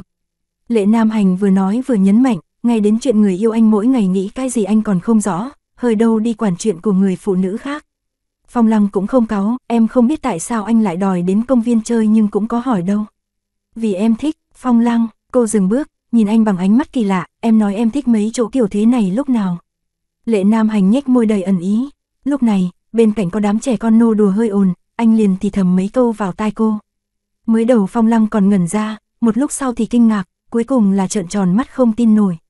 Không thể có chuyện cô từng ngốc nghếch như vậy được. Lệ Nam Hành chỉ cười, được rồi, anh biết bên trong em giấu một bé gái, chỉ là em nhốt chặt quá nên anh không thấy được thôi. Chốc nữa, ở trong đó mà em có vui đến mức thổi cả bong bóng môi anh cũng sẽ không cười nhạo em đâu. Phong Lăng, cô không dám tin nhưng vẫn đi vào công viên với Lệ Nam Hành, trông thấy nhiều máy móc trò chơi. Công viên vui chơi này rất rộng, các thiết bị bên trong phải to gấp mấy lần khu nghỉ dưỡng của ngày mai. Hơn nữa trò nào cũng có rất nhiều người xếp hàng.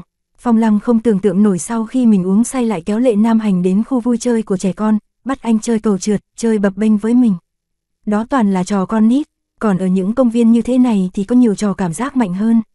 Cô nhìn tàu lượn siêu tốc, nghĩ một chốc quay ra hỏi lệ nam hành, muốn chơi tàu lượn siêu tốc hay đu quay thú nhún.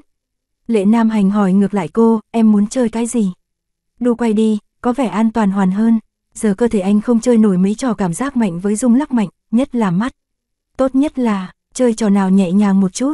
Cô còn chưa nói xong, lệ nam hành đã nắm tay cô, kéo tay cô đi về hướng khác tàu lượn siêu tốc. Phong lăng, thế còn hỏi cô làm gì? Không biết là cô muốn chơi hay anh muốn chơi nữa. Phong lăng cũng lười so đo với anh. Cô quan sát một lúc, đến khi chắc chắn rằng tuy tàu lượn siêu tốc chạy nhanh nhưng lúc lên xuống đều rất ổn định, khúc giữa chạy nhanh cũng chỉ thấy gió, không có gì nguy hiểm và ảnh hưởng đến anh, cô mới đi mua vé. Lúc ngồi vào xe, có nhân viên tiến tới cài đai an toàn cho hai người, Phong Lăng quay qua nhìn Lệ Nam Hành, trong tình trạng mắt không thấy gì có lẽ nỗi sợ sẽ tăng gấp mấy lần, anh cố nhịn đừng có hét, nếu không em sợ em sẽ cười nhạo anh cả đời đấy. Lệ Nam Hành cười lạnh, thang dây thả từ trực thăng xuống nhanh thế anh còn không có cảm giác gì, huống hồ chỉ là một cái tàu lượn. Anh còn chưa nói xong thì tàu đã bắt đầu chạy. Trong suốt quá trình, Phong Lăng hoàn toàn không hề thay đổi sắc mặt, cô và anh đều từng được huấn luyện đu thang dây ở trên không, các bài tập về siêu tốc trên không đều từng được học, đúng là không có cảm giác gì thật, ngay cả nhịp tim cũng không thay đổi. Sau khi lượn vài vòng, mấy chàng trai, cô gái và lũ trẻ ngồi sau hết từ đầu đến cuối, mặt đã tái nhợt, có người thì vui vì ca Iota CS thích, nhưng cũng có người thì sợ mất hồn. Chỉ có mỗi lệ nam hành và phong lăng ngồi hàng đầu tiên là không có cảm xúc gì. Hai người cởi đai an toàn xong, lệ nam hành tiếc bảo, vẫn chưa đủ đô. Nhân viên đứng bên cạnh đang chờ được khen, nghe thấy vậy mặt liền xị ra. Phong lăng cạn lời, vội kéo ngay lệ nam hành cái tên không biết nhìn sắc mặt người khác đi. Thế mới nói, mấy thứ này đâu có gì thú vị, sao em có thể kéo anh đi chơi cầu trượt được. Lệ nam hành, khả năng lôi kéo của anh chỉ trẻ con được vậy thôi à, cái chuyện anh nói không thể nào xảy ra được. Phong lăng rất chắc chắn, lệ nam hành cười hờ hờ, không tranh luận với cô. Anh dừng bước, lắng nghe âm thanh rồi đổi hướng, bên này có gì nhỉ? Sao nhiều tiếng hét thế? Thuyền hải đảo thì phải. Ờ, vậy thì chả có gì vui. Giờ về hay là, có tiệm đồ ngọt hay kem không? Lệ Nam Hành vẫn đứng đó hỏi. Phong lăng mờ mịt, người đàn ông này lên cơn động kinh gì vậy? Cô nhìn ngó xung quanh, có chỗ bán kem, nhưng còn nhiều người đang xếp hàng lắm, anh muốn ăn à? Là em muốn ăn, Phong lăng, sao lại là em nữa? Lệ Nam Hành hất cầm về phía trước, ra hiệu cho cô dắt anh đi mua kem. Phong lăng hết cách, ông lớn bị thương đưa ra yêu cầu, cô chỉ có. Thể làm theo, cô kéo anh đi, lịch sự xếp hàng sau một hàng người chứ không trên hàng mấy em nhỏ phía trước. Đứng chờ khoảng 10 phút, cuối cùng cũng đến lượt, hai người mua một ly kem vị xoài và một ly vị Việt quất. Bao năm qua, Phong Lăng luôn thích các món ngọt vị Việt quất, cho nên cái này cô không từ chối. Hai người vừa ăn vừa đi, lệ nam hành không ăn nhiều, cuối cùng hai người ngồi xuống một băng ghế dài không có ai. Lúc này, phòng Lăng mới thấy cảnh này giống các cặp tình nhân trẻ, giống cả những cặp vợ chồng già ngồi ăn kem nhìn đám trẻ nô đùa bên cạnh. Anh nắng ấm áp, kem ngọt lim, người bên cạnh còn có thể mang lại cảm giác an toàn cho cô. Như thể từ bé đến lớn, trong cuộc đời cô, bất kể là ở căn cứ hay ở nhà họ Phong đều chưa từng có cảm giác yên ổn như vậy. Hoặc có lẽ cũng có, nhưng nó đã bị thiêu rụi trong khu rừng mấy năm trước rồi. Cô vừa đào kem vừa nói, có tin về việc đặt chân giả cho AK rồi, mấy hôm nữa là anh ấy có thể đứng dậy được, có khi còn có thể chạy nhảy tới thăm anh cũng nên. Sao, bắt đầu thấy sốt ruột cho mắt anh rồi à? Lệ Nam Hành không đặt nặng vấn đề, khẽ cười. Phong lăng lườm xéo anh, em chỉ đang nghĩ cái cục máu đè vào thần kinh thị giác của anh đến bao giờ mới tan thôi. Lệ Nam Hành giơ tay lên, không cần lần mò trong không trung vẫn có thể ôm vai cô một cách chuẩn xác, không vội, cậu ta có chân giả, chẳng phải anh còn có em làm đôi mắt của anh sao. Bạn đang nghe chuyện trên kênh truyện Tiên Hiệp Audio, nếu thấy hay hãy like, share và nhấn nút đăng ký kênh để ủng hộ mình nhé. Chương 1392, ngoại truyện 655. Chương 655 Nam Hữu Phong Linh, Bắc Hữu Hành Mộc 655. Phong Lăng còn chưa nói gì, Lệ Nam Hành đã xoa nhẹ mắt cô, đã thấy đôi mắt này vừa to vừa sáng, tốt hơn cái chân giả phải làm từ máy móc của A ca nhiều. Phong Lăng định hất tay Lệ Nam Hành ra nhưng anh không buông, đã thấy còn mân mê xung quanh mắt cô, vô cùng hài lòng mà gật gù, xương quanh hốc mắt cũng rất tốt, kể cả sau này có già cũng vẫn là mỹ nhân. Tự dưng bị chọc ghẹo, Phong Lăng phát hiện cứ mỗi khi cô muốn nói chuyện nghiêm túc với Lệ Nam Hành thì lại không thể làm gì được anh. Trên đường về, Phong Lăng đưa Lệ Nam Hành vào hiệu cắt tóc, nhờ người ta chỉnh lại tóc tai cho anh. Thợ cắt tóc cắt về độ dài mái tóc trước đây cho anh, không phải kiểu cực ngắn như đầu cua, nhưng cũng không dài như mấy ngày vừa rồi, tóm lại trông rất sáng sủa, đẹp trai. lục đeo kính dâm ra khỏi hiệu cắt tóc, trông anh không khác gì bình thường, chỉ có điều hơi gầy hơn trước. Mấy hôm trước Phong Lăng còn bảo chắc mấy ngày tới kiểu gì AK cũng tới thăm, không ngờ AK lại tới thật. Ngày thứ hai kể từ lúc AK đeo chân giả, anh ta mất cả một ngày trời để làm quen với cái chân giả này, sau đó lại sung sướng mặc một bộ câm lê bành trai người người, đến thăm Lệ Nam Hành cùng với mấy anh em đội bắn tỉa. Lúc bấy giờ, Lệ Nam Hành đang ngủ trong phòng, buổi trưa sau khi uống thuốc, vì tác dụng của thuốc nên anh phải ngủ 2 tiếng đồng hồ, điều này đã thành một thói quen. 2 giờ chiều, anh bị tiếng cười nói ngoài phòng khách làm tỉnh, anh trải lại mái tóc hơi xù lên rồi mò mẫm, mở cửa phòng ra ngoài. Tam với Lâm Thành vốn đang ngồi trong phòng khách cười nói, quay lại bỗng thấy lệ lão đại, đã thế lúc này mắt lão đại còn không quấn băng, khiến họ im bặt theo bản năng. Bầu không khí thoáng chốc trùng hẳn xuống, không ai dám ho he câu nào. Phong lăng đang đi xếp đống hoa quả và quà mà đám tam mang đến tặng, thấy phòng khách bỗng im ắng, cô ló đầu ra nhìn thử, chỉ thấy bốn cái tên sư tử xù lông kia trông thấy lệ lão đại tình một cái lập tức biến thành cuốn con, hơn nữa người nào người nấy đều đưa tay lên miệng làm động tác cấm nói. Phong lăng bật cười, thật sự thì lệ nam hành chỉ rời căn cứ trên danh nghĩa thôi vì trong mắt những người anh em này, anh vẫn luôn là lão đại của họ. Vừa thấy anh là ai nấy đều biết điều hẳn, làm cái gì mà cứ gào tướng lên thế. Lệ nam hành vác cái mặt ông vừa mới bị ồn tình cả ngủ đi ra. Thấy lão đại đi thẳng một mạch ra sofa, bước đi rất vững, còn không phải lần sơ gì, không hề giống người không nhìn thấy chút nào, Tam, Lâm Thành và A ca đều đần cả người. Lẽ nào mắt của lão đại khỏi rồi, lúc đi đến chỗ sofa, lại bị Lâm Thành đang ngồi trên bàn trà thò chân qua hơi ngáng đường, lệ nam hành đạp anh ta một cái, bỏ cái chân ra. Lâm Thành sợ quá rụt vội chân về, cả đám thấy lệ nam hành từ từ ngồi xuống ghế, nhưng mắt không hề nhìn về phía ai trong số họ, còn lần lần tay trên sofa, sờ thấy một cái gối ôm màu xanh nhạt trông rất thiếu nữ thì mới ngồi xuống. Thấy lão đại đã gầy đến mức không thể gầy hơn, lại ôm thứ đó, bốn người kia nhìn nhau, thầm xác định chắc chắn mắt lão đại vẫn chưa khỏi. Có khi anh còn không biết cái gối mà anh ôm có hình dáng với màu sắc thế nào ấy chứ. Gì ấy nhỉ, lão đại, chúng em đưa AK tới thăm anh. Tam rất tự giác mà đứng dậy, lại vỗ lôi bằng và Lâm Thành đang hơi trướng bên cạnh, ba người ngồi lên bàn trà, để AK với lão đại ngồi trên ghế. AK vốn cũng định đứng dậy nhưng lại bị Tam lườm một cái, ý bảo ngồi xịch ra một chút, đừng động vào lão đại là được, dù sao anh ta cũng là bệnh nhân, kể cả lão đại có muốn moi móc ai thì chắc chắn sẽ không phải là a ca Nói thì nói vậy, nhưng ngồi chung ghế với lão đại cũng vẫn thấy áp lực gấp bội chứ bộ. Nhất là khi cái mạng này của anh ta là do lão đại cứu. Là lão đại cứu mạng anh ta trước, sau đó Phong Lăng lại đi nhặt mạng của hai người về. Lão đại, cái chân giả này của a ca chắc là do anh với Phong Lăng giúp đúng không? Giống thật kinh khủng luôn, lúc đi vào hoàn toàn không khác trước kia là mấy. Hơn nữa rất linh hoạt, hôm qua suýt, nữa thì cậu ta lao ra sân tập để đấu với bọn em luôn rồi. Lâm Thành vừa nói vừa vỗ lên đầu gối của A Ca. Đậu má, nhẹ thôi. A Ca đau đến mức vội né chân sang bên cạnh. Sao bảo không đau cơ mà. Lâm Thành nghi ngờ, ngáo à, cậu đập lên chân giả của tôi thì tất nhiên là không đau, nhưng cậu cứ đập đập lên chỗ thịt đầu gối suốt, tôi thử đập mạnh cậu mấy cái xem cậu có đau không nhé. Tưởng chân ông đây làm bằng sắt chắc, A ca vừa nói lại vừa xích chân sang phía an toàn. Ôn, lệ nam hành dai chán, anh chỉ nói đúng một chữ đủ để khiến cả bốn tên kia im như gà. A ca nghĩ rồi vẫn sắp tới chỗ lệ nam hành, lão đại, từ lúc chúng ta bị thương đến giờ, em cứ nằm trên giường suốt, vẫn chưa có cơ hội để cảm ơn đại ơn đại đức của anh một cách chính thức. Dù sao giờ em cũng đứng dậy được rồi, em muốn tới để nói. Không phải nói gì hết, im lặng đừng có đến phiền tôi là tốt nhất rồi. Chẹp, em nói này lão đại, anh xem giờ em cũng đứng lên được rồi, nhưng vì cứu em mà anh đã phải trả một cái giá không nhỏ chút nào, đến giờ mắt anh vẫn chưa khỏi hẳn. Lão đại, sau này mắt của em chính là mắt của anh, lúc nào anh cần em em sẽ tới ngay, hoặc nếu y học phát triển đến một mức nhất định, có bảo em móc mắt ra cho anh cũng được. Vì những lời A ca nói qua máu me nên cả phòng khách lặng như tờ, lệ nam hành cao mày, tỏ vẻ ghét bỏ. Thật mà lão đại, thị lực mắt em tốt lắm, nếu có móc ra cho anh chắc vẫn có thể.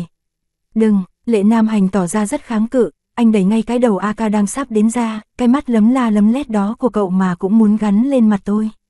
Có biết thế nào gọi là một đôi mắt hủy cả gương mặt không? Mặt tôi đẹp thế này không thể bị hủy bởi đôi mắt của cậu được. Bạn đang nghe chuyện trên kênh truyện Tiên Hiệp Audio, nếu thấy hay hãy like, share và nhấn nút đăng ký kênh để ủng hộ mình nhé. Chương 1393, ngoại truyện 656. Chương 656 Nam Hữu Phong Linh, Bắc Hữu Hành Mục 656. Ôi địch, đây là cái gì? Phong Lăng thấy trong nhà đông người, hơn nữa một tháng nay cô cũng đã quen việc nấu cơm hàng ngày nên quyết định làm thêm vài món. Sau khi Phong Lăng bê từng món ra bàn, lôi bằng kinh ngạc nhảy cẫng lên, tóm tam với Lâm Thành tới bảo, tiểu Phong Lăng của chúng ta khoe tay nghề kìa. Con gái đúng thật là khác hẳn, nếu chịu nghiêm túc nghiên cứu chuyện bếp núc thì sẽ học được rất nhanh.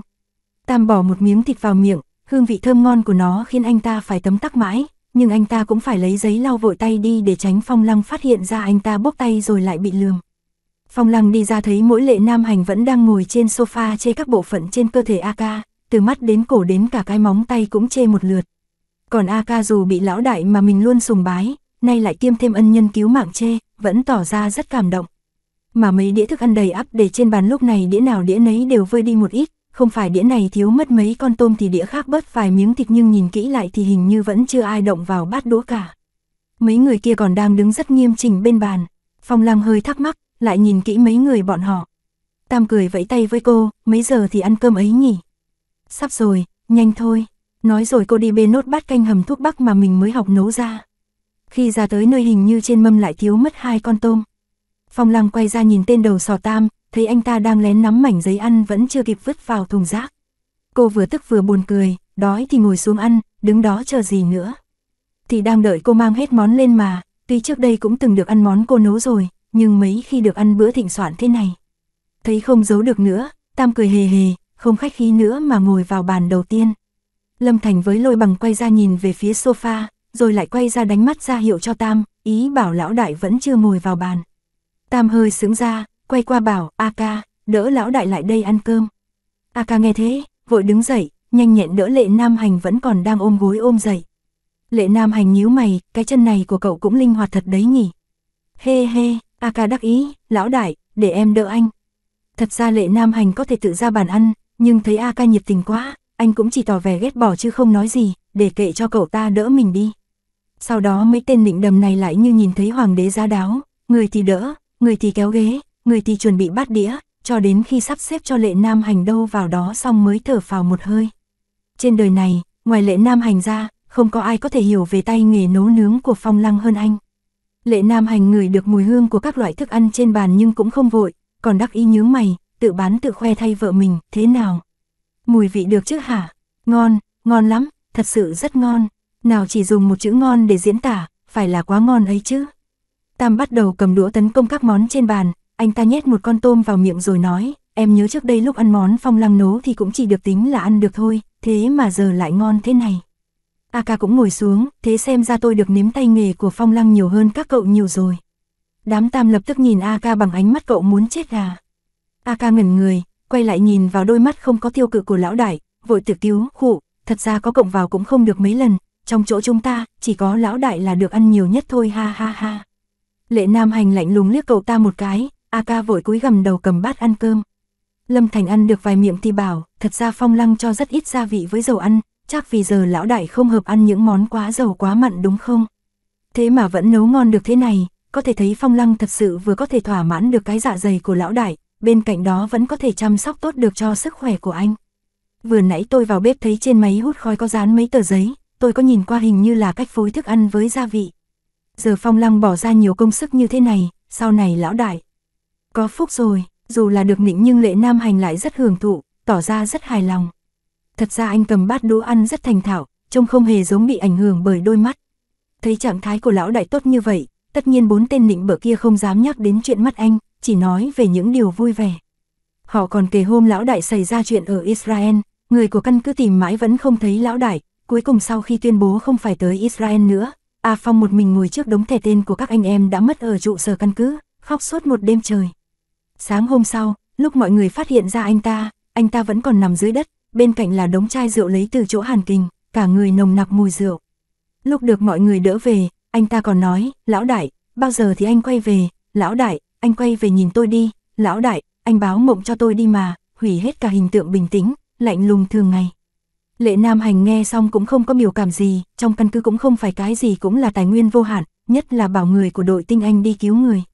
Nếu có nhiệm vụ chính thức thì hãy ra quân, không thể chỉ vì hai kẻ không biết sống chết thế nào là tôi với AK mà không ngừng điều động hỏa lực của cả căn cứ như thế. Cậu ta có thể kiên trì lâu như vậy cũng đã không dễ gì rồi, cũng phải nghĩ cho tình hình của căn cứ nữa. Nếu tôi là cậu ta tôi cũng sẽ quyết định như vậy. Nói đến đây, lệ nam hành lại hờ hững bảo, mà các cậu lấy công chuộc tội nên được ở lại căn cứ rồi mà nhỉ. Đúng à, Tam lập tức ngước mắt lên, lão đại biết chuyện rồi à. Lệ nam hành hào sảng đáp, tốt xấu gì cũng là mấy người các cậu với Phong Lăng cùng tìm tôi và A ca về. Dám không cho các cậu cơ hội lập công chuộc tội thì A Phong cũng cút khỏi cái chức người phụ trách căn cứ đi là vừa. Hề hề, biết ngay là lão đại độc miệng nhưng vẫn tốt bụng, lúc nào cũng nghĩa khí với bọn em mà. Bạn đang nghe chuyện trên kênh truyện Tiên Hiệp Audio, nếu thấy hay hãy like, share và nhấn nút đăng ký kênh để ủng hộ mình nhé. Chương 1394, ngoại truyện 657. Chương 657 Nam Hữu Phong Linh, Bắc Hữu Hành Mộc 657. Lâm Thành cốc một cái vào đầu Tam, nói nhỏ, đó là vì chúng ta dẫn cả Phong Lăng theo, người cứng rắn như lão đại chỉ mềm mỏng với mình Phong Lăng thôi, nghĩa khi quái gì với cậu, cậu là ai chứ? Đừng nói vậy, lão đại của chúng ta vẫn rất tốt với chúng ta đấy. Lôi bằng vội tiếp lời, lệ nam hành cầm cốc nước trên bàn, uống một ngụm rồi bình tĩnh nói, Lâm Thành nói không sai đâu, người mà các cậu phải cảm ơn là phong lăng ấy. Bốn tên nịnh bợ, cả đám chỉ muốn tới đây để nịnh với dỗ lão đại, thế quái nào mà vẫn phải nếm cả thức ăn cho cho thế này. Giờ lệ lão đại đã công khai tình cảm của mình với phong lăng đến thế rồi à?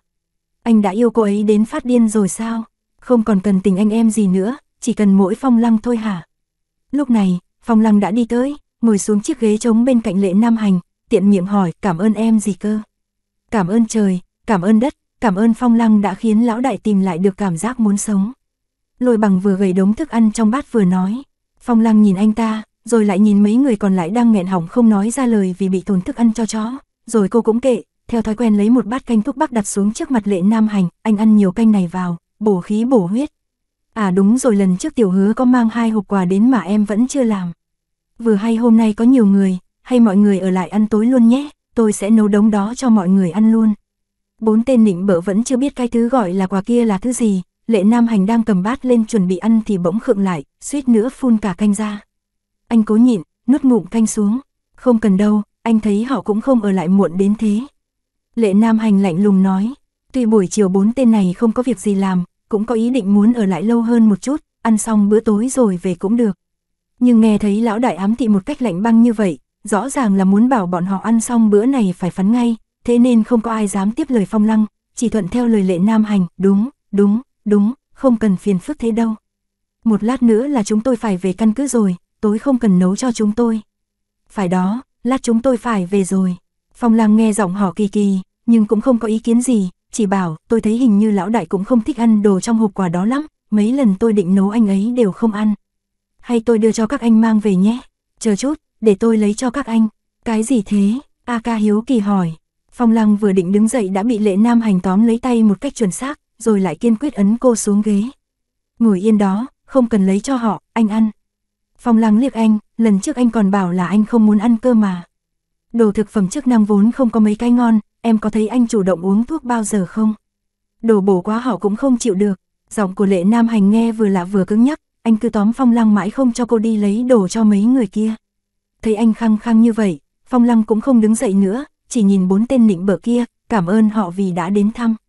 Đáng ra để người ta tay không về thì không hay lắm, nhưng lão đại đã nói thế rồi, chắc chắn bốn tên này cũng sẽ không dám mang thứ gì về, nên cô cũng đành thôi. Sau bữa cơm, bốn kẻ vốn định ngồi chơi thêm một lúc giờ lại vô cùng phối hợp mà ra về.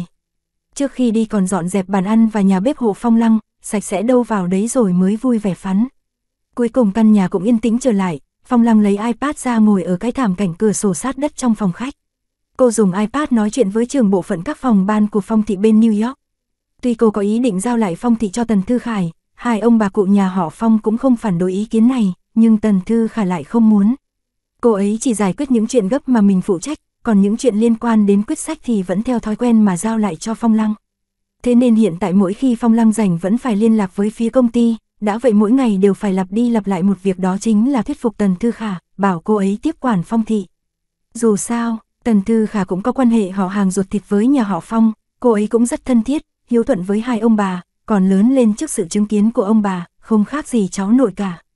Thêm một lần thất bại, Phong Lăng bất lực cười, gõ chữ vào iPad.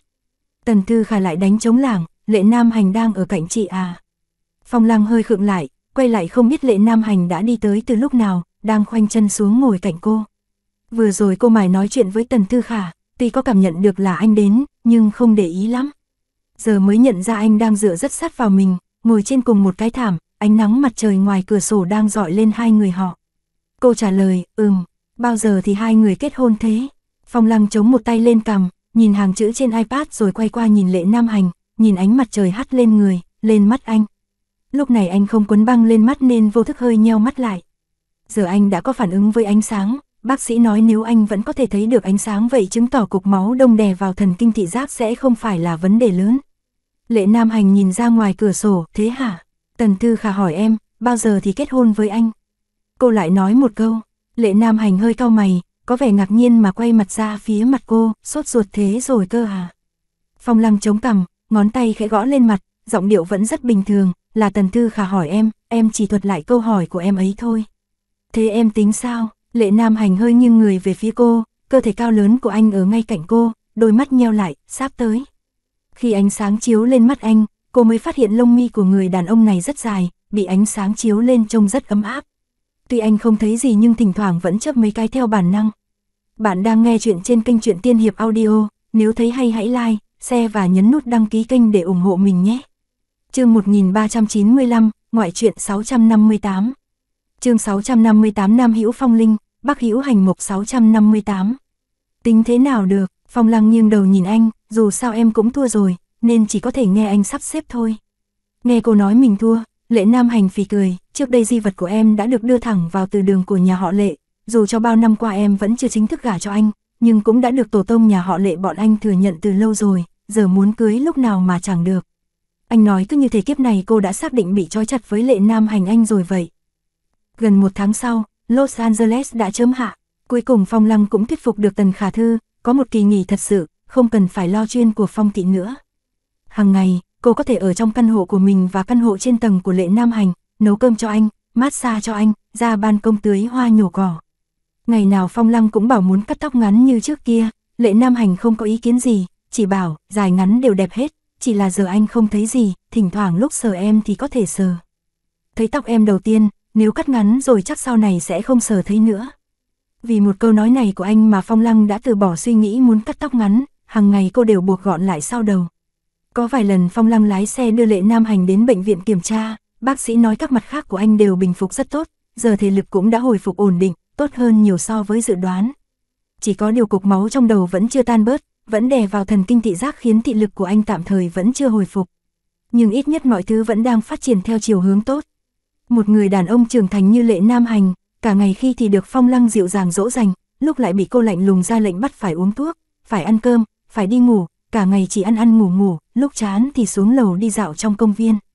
Nhà họ lệ lại thường gửi đồ bổ đến, tuy những thứ này đều bị lệ nam hành bắt nhét trong tủ, nhưng trong hai tháng ngắn ngủi ở chung với phong lăng, lệ nam hành cũng béo lên không ít.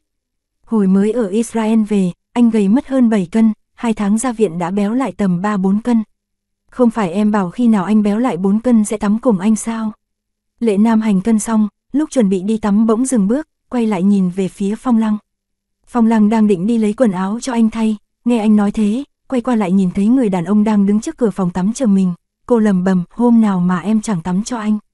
Tắm cùng cơ, lệ nam hành nhướng mày, Phong Lăng, hai tháng nay, ngày nào Phong Lăng cũng tận chức tận trách mà chăm lo sinh hoạt hàng ngày cho lệ nam hành, nhưng mỗi ngày, hành động thân mật nhất cũng chỉ là lấy nước tắm cho anh trước khi anh đi ngủ.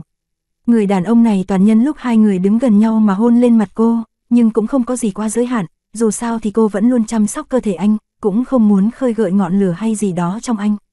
Cô vẫn luôn giữ thái độ đúng mực, một lòng chỉ muốn anh mau bình phục, không hề có xíu suy nghĩ xấu xa nào. Nhưng cô không có không có nghĩa là người đàn ông này không có. Có mấy lần lúc tắm anh cố tình làm ướt áo cô, sau đó lại muốn cởi áo cô, nói gì mà muốn hôn hay gì đó với cô một chút trong nhà tắm, nhưng cuối cùng đều bị cô tránh đi. Về sau có một lần cô nói, chỉ cần anh tiếp tục chăm sóc sức khỏe, khi nào béo lại được 3-4 cân rồi tính. Khi đó cô nói là nếu anh béo lại được 3-4 cân rồi tính. Rồi tính mà thôi, chứ không phải thật sự cởi đồ rồi lõa lồ như thế tắm chung với anh.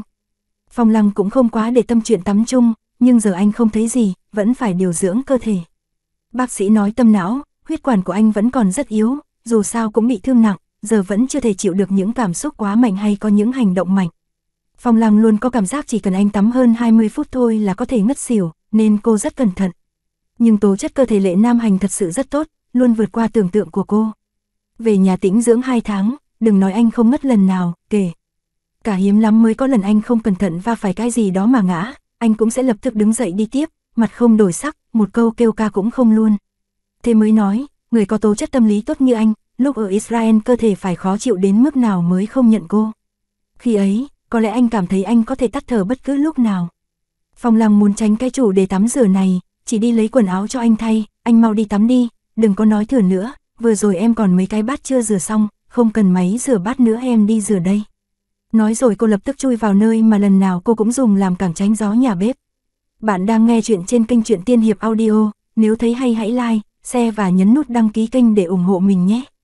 Chương 1396, ngoại truyện 659. Chương 659 Nam Hữu Phong Linh, Bắc Hữu Hành Mục 659. Phong Lăng đang đứng rửa bát thì bỗng thấy Lệ Nam Hành đi đến trước cửa nhà bếp hỏi, có phải em lén lấy hai cái hộp thuốc bổ kia ra rồi đúng không? Phong Lăng lại ngẩn ra, trong lòng bỗng dâng lên một cảm giác không ổn, khó nói thành lời. Cô quay qua nhìn anh, em thấy mấy thứ đó cứ để đây suốt, sức khỏe của anh đã đỡ hơn nhiều rồi nhưng vẫn nên tầm bổ thêm, vì không biết anh thích vị nào nên em đã bỏ một ít vào trộn với thịt nai để hầm thành canh. Vừa rồi không phải anh hỏi em đấy là thịt gì sao, là thịt nai đấy, nhưng em bỏ vào ít lắm. Hai người lặng lặng nhìn nhau một hồi lâu, một chút ái muội nào đó bỗng dâng lên trong không khí. May chỉ là thịt nai, giọng lệ nam hành khàn đi, chứ nếu đổi thành lộc tiên cái ấy của con nai, hay thịt ba ba, hải sâm gì đó. Chắc em đã bị anh nuốt sống luôn rồi. Phong lăng sững người, lại thấy lệ nam hành nở một nụ cười trông có vẻ bất đắc dĩ, quay người đi vào phòng tắm. Mất một lúc lâu cô mới phản ứng lại được, thịt nai thì làm sao cơ. Thấy lệ nam hành vào phòng tắm, cô cũng đi theo thì nghe thấy tiếng nước vọng ra. Hiện tại, anh đã quen với việc đi lại trong nhà, kể cả việc tắm rửa nên dùng cô không vào tắm cho anh thì anh vẫn có thể giải quyết được.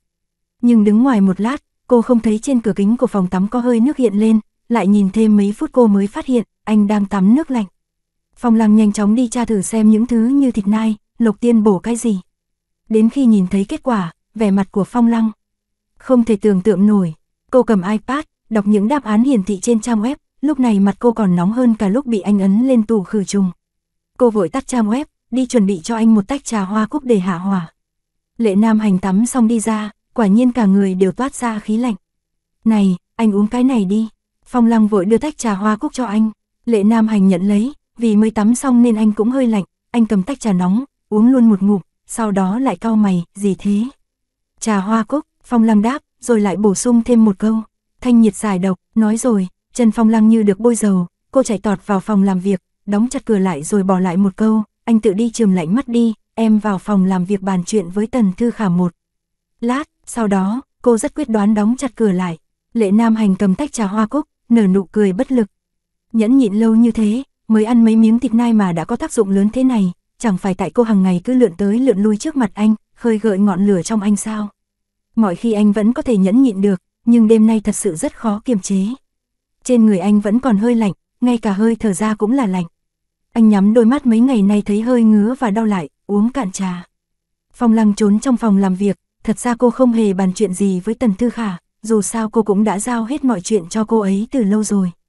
Giờ cô rất nhẹ nhõm, không có việc gì hết, việc quan trọng duy nhất phải làm hàng ngày là chăm sóc cho lệ nam hành. Cô ngồi trong phòng một lúc lâu, thấy bên ngoài không có động tĩnh gì mới mở cửa. Mới đầu cô chỉ he hé một khe hở, thấy lệ nam hành không ở trong phòng khách, cô mới mở hẳn cửa đi ra ngoài. Anh về phòng ngủ luôn rồi à, còn chưa chườm mắt, không thể để thế ngủ được. Phong lăng trầm ngâm dây lát, thầm nghĩ từ sau khi lệ nam hành từ Israel về đến giờ, cô lúc nào cũng phải lo lắng cho anh. Nghĩ thế, cô ra tủ lạnh lấy những thứ cần thiết cho việc chườm mắt rồi đi vào phòng ngủ. Phong lăng đẩy cửa phòng ngủ, thấy bên trong để đèn lờ mờ, cô sướng ra, theo phản xạ quay lại nhìn xem rốt cuộc lệ nam hành đang ở trong phòng khác hay đã về phòng ngủ rồi. Vừa quay đầu, ánh đèn phía sau lưng bỗng sáng bừng, cửa cũng mở toang. Cô cảnh giác định né đi, nhưng lại bị người đàn ông ở trong phòng ngủ dùng tốc độ nhanh hơn ôm lấy eo. Cô còn chưa kịp làm gì, anh đã ôm lấy eo cô, kéo vào phòng. Giường cách cửa không xa, cô chỉ hơi lảo đảo mấy bước, đã bị đè xuống giường. Bạn đang nghe chuyện trên kênh truyện Tiên Hiệp Audio, nếu thấy hay hãy like, share và nhấn nút đăng ký kênh để ủng hộ mình nhé. Chương 1397, ngoại truyện 660. Chương 660 Nam Hữu Phong Linh, Bắc Hữu Hành Mộc 660. Lúc mới bị đè xuống, Phong Lăng nhất thời không thở được, cô giờ khóc giờ cười đẩy mạnh mấy cái lên vai anh. Tắm nước lạnh rồi, uống cả trà thanh nhiệt rồi cũng không tác dụng gì. Lệ Nam Hành nhướng mày, xoa mặt Phong Lăng, vì cô bất thình lình bị đè xuống giường cho nên lúc này tóc đã xóa hết ra, phủ lên chiếc chăn mềm mịn, càng tôn lên gương mặt trắng trẻo, mịn màng của cô. Anh không nhìn thấy nhưng có thể sờ được, cảm nhận được. Em không biết mấy thứ đó là của mấy ông cụ nhà họ lệ mua cho anh. Phong Lam nói được một nửa bỗng thấy mắt người đàn ông trước mắt sâu thêm, cô lập tức không nói nữa. Em cha rồi hả? Anh phản ứng mạnh như thế, em không cha mà được à? Nếu không em còn tưởng em bỏ độc gì anh đấy. Phong Lăng xấu hổ đưa tay lên che mắt mình, lúc trước bác sĩ đã dặn đi dặn lại em là tuyệt đối không được để anh làm bất cứ hoạt động kịch liệt nào, kể cả anh có cảm thấy anh khỏe lại rồi, nhưng vẫn phải chú ý. Sớm biết mấy cái thứ kia có tác dụng đó, em đã giấu đi từ lâu rồi, còn lâu mới dùng mà hầm canh cho anh ăn. Thế giờ phải làm sao? Anh ăn mất rồi, lệ nam hành vừa nói còn vừa ác ý, nhân lúc đang trong tư thế đè vào cô mà còn cố tình thúc. Mấy cái, phong lăng lườm anh, rõ ràng anh biết tác dụng của đống đồ bổ đó mà lại không nói năng gì, anh cố tình đúng không? Cố tình đợi hôm nào đó em giờ trứng nấu mấy cái đó cho anh ăn, cuối cùng anh lại nói em là kẻ đầu sò. Dù anh có thật sự, cưỡng ép, em đi chăng nữa, em cũng chỉ có thể nói mình tự làm tự chịu thôi chứ gì. Câu này là do em nói nhé, thế nào gọi là cưỡng ép em hả? Lệ Nam Hành nhếch miệng cười, lại hôn chóc lên môi cô, đòi tới Israel tìm anh, bảo tìm mười mấy năm hay thậm chí là cả đời cũng tìm, yêu anh sâu đậm như thế, rõ ràng là tình cảm đôi bên, anh cần gì phải cưỡng ép em. Phong Lăng, cô biết ngay là lần đó cô không nên bày tỏ với anh mà.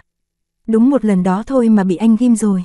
Trước đây, chưa bao giờ anh có được câu trả lời chính thức từ cô, cô chỉ bày tỏ đúng một lần đó.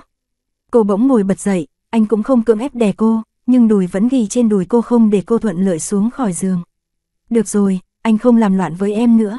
Thấy cô muốn đi thật, lệ nam hành vội giơ tay, lần mò trong không khí một hồi mới sờ được vào vai cô, anh ôm cô vào lòng, anh ở chỗ em dưỡng thương bao lâu nay, em cũng không ngủ với anh lần nào, chỉ đơn thuần là ngủ chung giường với anh thôi em cũng không chịu. Anh muốn ôm em ngủ, buổi tối anh ăn canh thịt nai, giờ còn muốn ôm em ngủ. Nếu em đồng ý thì khác nào đưa dây vào miệng cọp. Lúc này, phòng Lăng không thể để anh dễ dàng qua mặt được. Nói rồi, cô vùng khỏi anh, tụt nhanh xuống giường, em để đồ trường mắt trên đầu giường rồi, anh tự trường đi, em đi tắm rồi đi ngủ đây, muộn rồi. Lệ Nam Hành nghe thấy tiếng bước chân của cô đã xa khỏi cửa phòng, nụ cười trên mặt biến mất, tay lần mò trên giường, cầm lấy túi đá nhỏ và thuốc lên miết trong tay. Khoảng nửa tiếng sau, Phong Lăng tắm gội xong, sấy khô tóc, vốn dĩ hàng ngày cô đều có thói quen vào phòng ngủ của Lệ Nam Hành xem anh đã ngủ ngon chưa nhưng hôm nay cô nghĩ chắc không phải xem nữa. Lâu thế chắc anh cũng ngủ rồi, hơn nữa vừa rồi cô còn cự tuyệt anh một cách rõ ràng như vậy, anh nên biết là giờ cô đang rất thận trọng, không muốn mồi ngọn lửa trên người anh lên. Kết quả, lúc Phong Lăng vừa nằm xuống giường chuẩn bị ngủ, cửa phòng ngủ của cô bỗng mở ra. Trong phòng chỉ có ánh đèn vàng mờ mờ ở đầu giường, người đàn ông đẩy cửa mò đường tới, nhưng rõ ràng anh không quen thuộc với mọi thứ trong căn phòng này, dưới chân là lớp thảm mềm mại, tiến lên nữa chân lại va vào chân giường. Phong lăng nghiệt ra, đang định dậy, người đàn ông lại lần mép giường sắp tới. Người thấy hương thơm từ sữa tắm của cô, anh vén chân chui tọt vào giường. Phong lăng, lệ nam hành, anh đừng làm loạn nữa. Không làm loạn, lệ nam hành cũng không nhiều lời, nằm luôn xuống. Thấy anh thật sự chỉ muốn ngủ cùng giường với cô, không có ý linh tinh, phong lăng cố gắng lờ đi cảm giác tai mình đang đỏ lên. Cô nhìn anh một lúc, cuối cùng hết cách, đành phải kệ cho anh nằm đó. Anh đã trườm mắt chưa? Cô tắt đèn ở đầu giường, hỏi. Trườm rồi, hôm nay cảm thấy mắt thế nào? Có còn chướng nhức không? Cô nằm xuống hỏi tiếp, lệ nam hành không trả lời cô mà nhắm mắt, hơi thở đều đều. Ngủ rồi à, khả năng nhìn trong bóng tối của phong lăng khá tốt, trong bóng đêm, cô vẫn có thể thấy được đường nét khuôn mặt anh, thấy anh vừa nằm lên giường cô đã ngủ. Chắc vì do tác dụng của thuốc với hiệu quả do trừ mắt khiến anh hình thành thói quen chỉ cần nằm xuồng giường là ngủ ngay. Phong lăng cũng không ý thức được lúc này khóe môi cô đã cong lên, cô lặng lẽ nằm xuống cạnh anh, một lúc sau, nhịp thở của lệ nam hành vẫn đều đều, cô khẽ lật người, lại khẽ đặt tay lên người anh, nằm sát lại, ôm anh, áp mặt vào bả vai anh, hít lấy mùi sữa tắm thơm ngát lẫn với mùi thuốc trên người anh, bấy giờ mới từ từ chìm vào giấc ngủ. Nửa đêm, lệ nam hành lơ mơ tỉnh dậy, anh lật người, cảm thấy cô gái nằm bên cạnh đang ôm mình, trong bóng đêm, anh cười rồi nhấc tay ôm chặt cô vào lòng. Sáng hôm sau, hôm nay tôi mặc thế nào, trông có phong độ không? Cụ hai nhà họ lệ ngồi ở ghế sau ô tô, đã ngáp tới lần thứ 20, uể oải nói, phong độ lắm, trông như trẻ ra mười mấy tuổi ấy, cháu dâu anh sẽ không chê bai anh đâu. Lệ quân diên cúi đầu kiểm tra lại bộ vest trên người mình, còn sờ cây gậy ba tong tinh xảo bằng gỗ tử đàn nạm vàng, bảo, sau bao nhiêu năm, đây là lần đầu tiên chính thức đi gặp cháu dâu, con bé còn chăm sóc Nam Hành lâu như vậy, hiếm lắm mới có dịp đến nhà, cũng phải ăn bận tử tế một chút, tránh để đám trẻ chê bai mấy ông già cổ hủ chúng ta chứ. Cụ hai nhà họ lệ phì cười, Phong Lăng không trách anh năm đó đuổi con bé khỏi căn cứ đã là tốt lắm rồi, anh còn mong con bé nhìn ra được vẻ đẹp trai người người mấy chục năm trước từ gương mặt già nua của anh nữa à.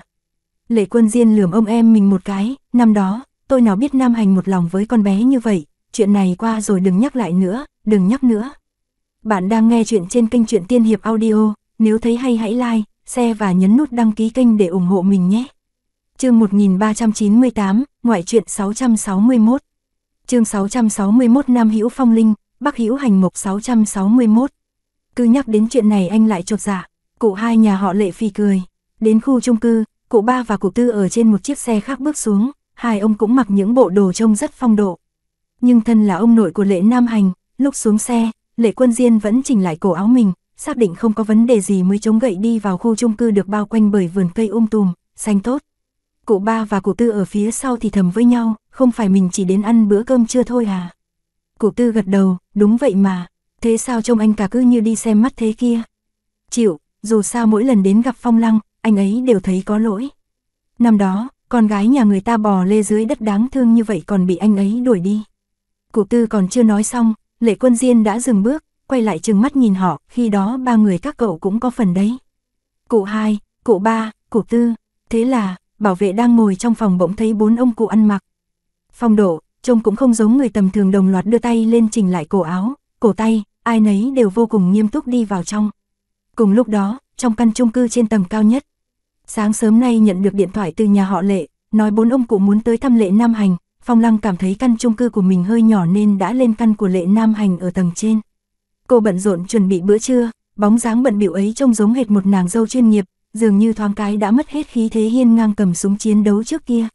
Lệ Nam Hành đứng cạnh cửa sổ, cảm nhận ánh mặt trời bên ngoài. Lúc Phong Lăng đi ngang qua, anh nói, để sau có thời gian thì thông hai tầng với nhau đi, đỡ phải đi đi về về phát mệt. Căn của anh đã cơi thêm tầng rồi, giờ thêm căn của em nữa thì thành ba tầng à. Ba tầng thì ba tầng, không gian càng rộng, cứ ghép hai căn thành một nhà luôn đi. Lệ Nam Hành vừa nói vừa nhìn về phía ánh nắng bên ngoài cửa sổ. Chắc vì ánh nắng hôm nay hơi gắt, nên khi trực tiếp chiếu vào mắt, anh cảm thấy nó sáng hơn hai tháng trước nhiều, có cảm giác có ánh sáng nhức mắt đang xen qua bóng tối luồn vào. Đúng là cả sáng nay Phong Lăng không được rảnh rỗi chút nào, cô cứ tất bật suốt. Lệ Nam Hành bảo, anh nghĩ vẫn nên thuê một cô giúp việc, anh thấy em cứ đi đi lại lại nãy giờ, còn chẳng có thời gian mà ngồi xuống nghỉ. Em rảnh cũng không có gì làm, thế này cũng tốt mà. Phong Lăng vừa nói vừa kéo anh ngồi ra sofa, hồi trước lúc ở trong rừng cũng thế còn gì, bận cả ngày cũng chỉ để có một giấc ngủ ngon, một bữa. Cơm no đấy thôi, bản chất sinh tồn của con người là vậy đấy.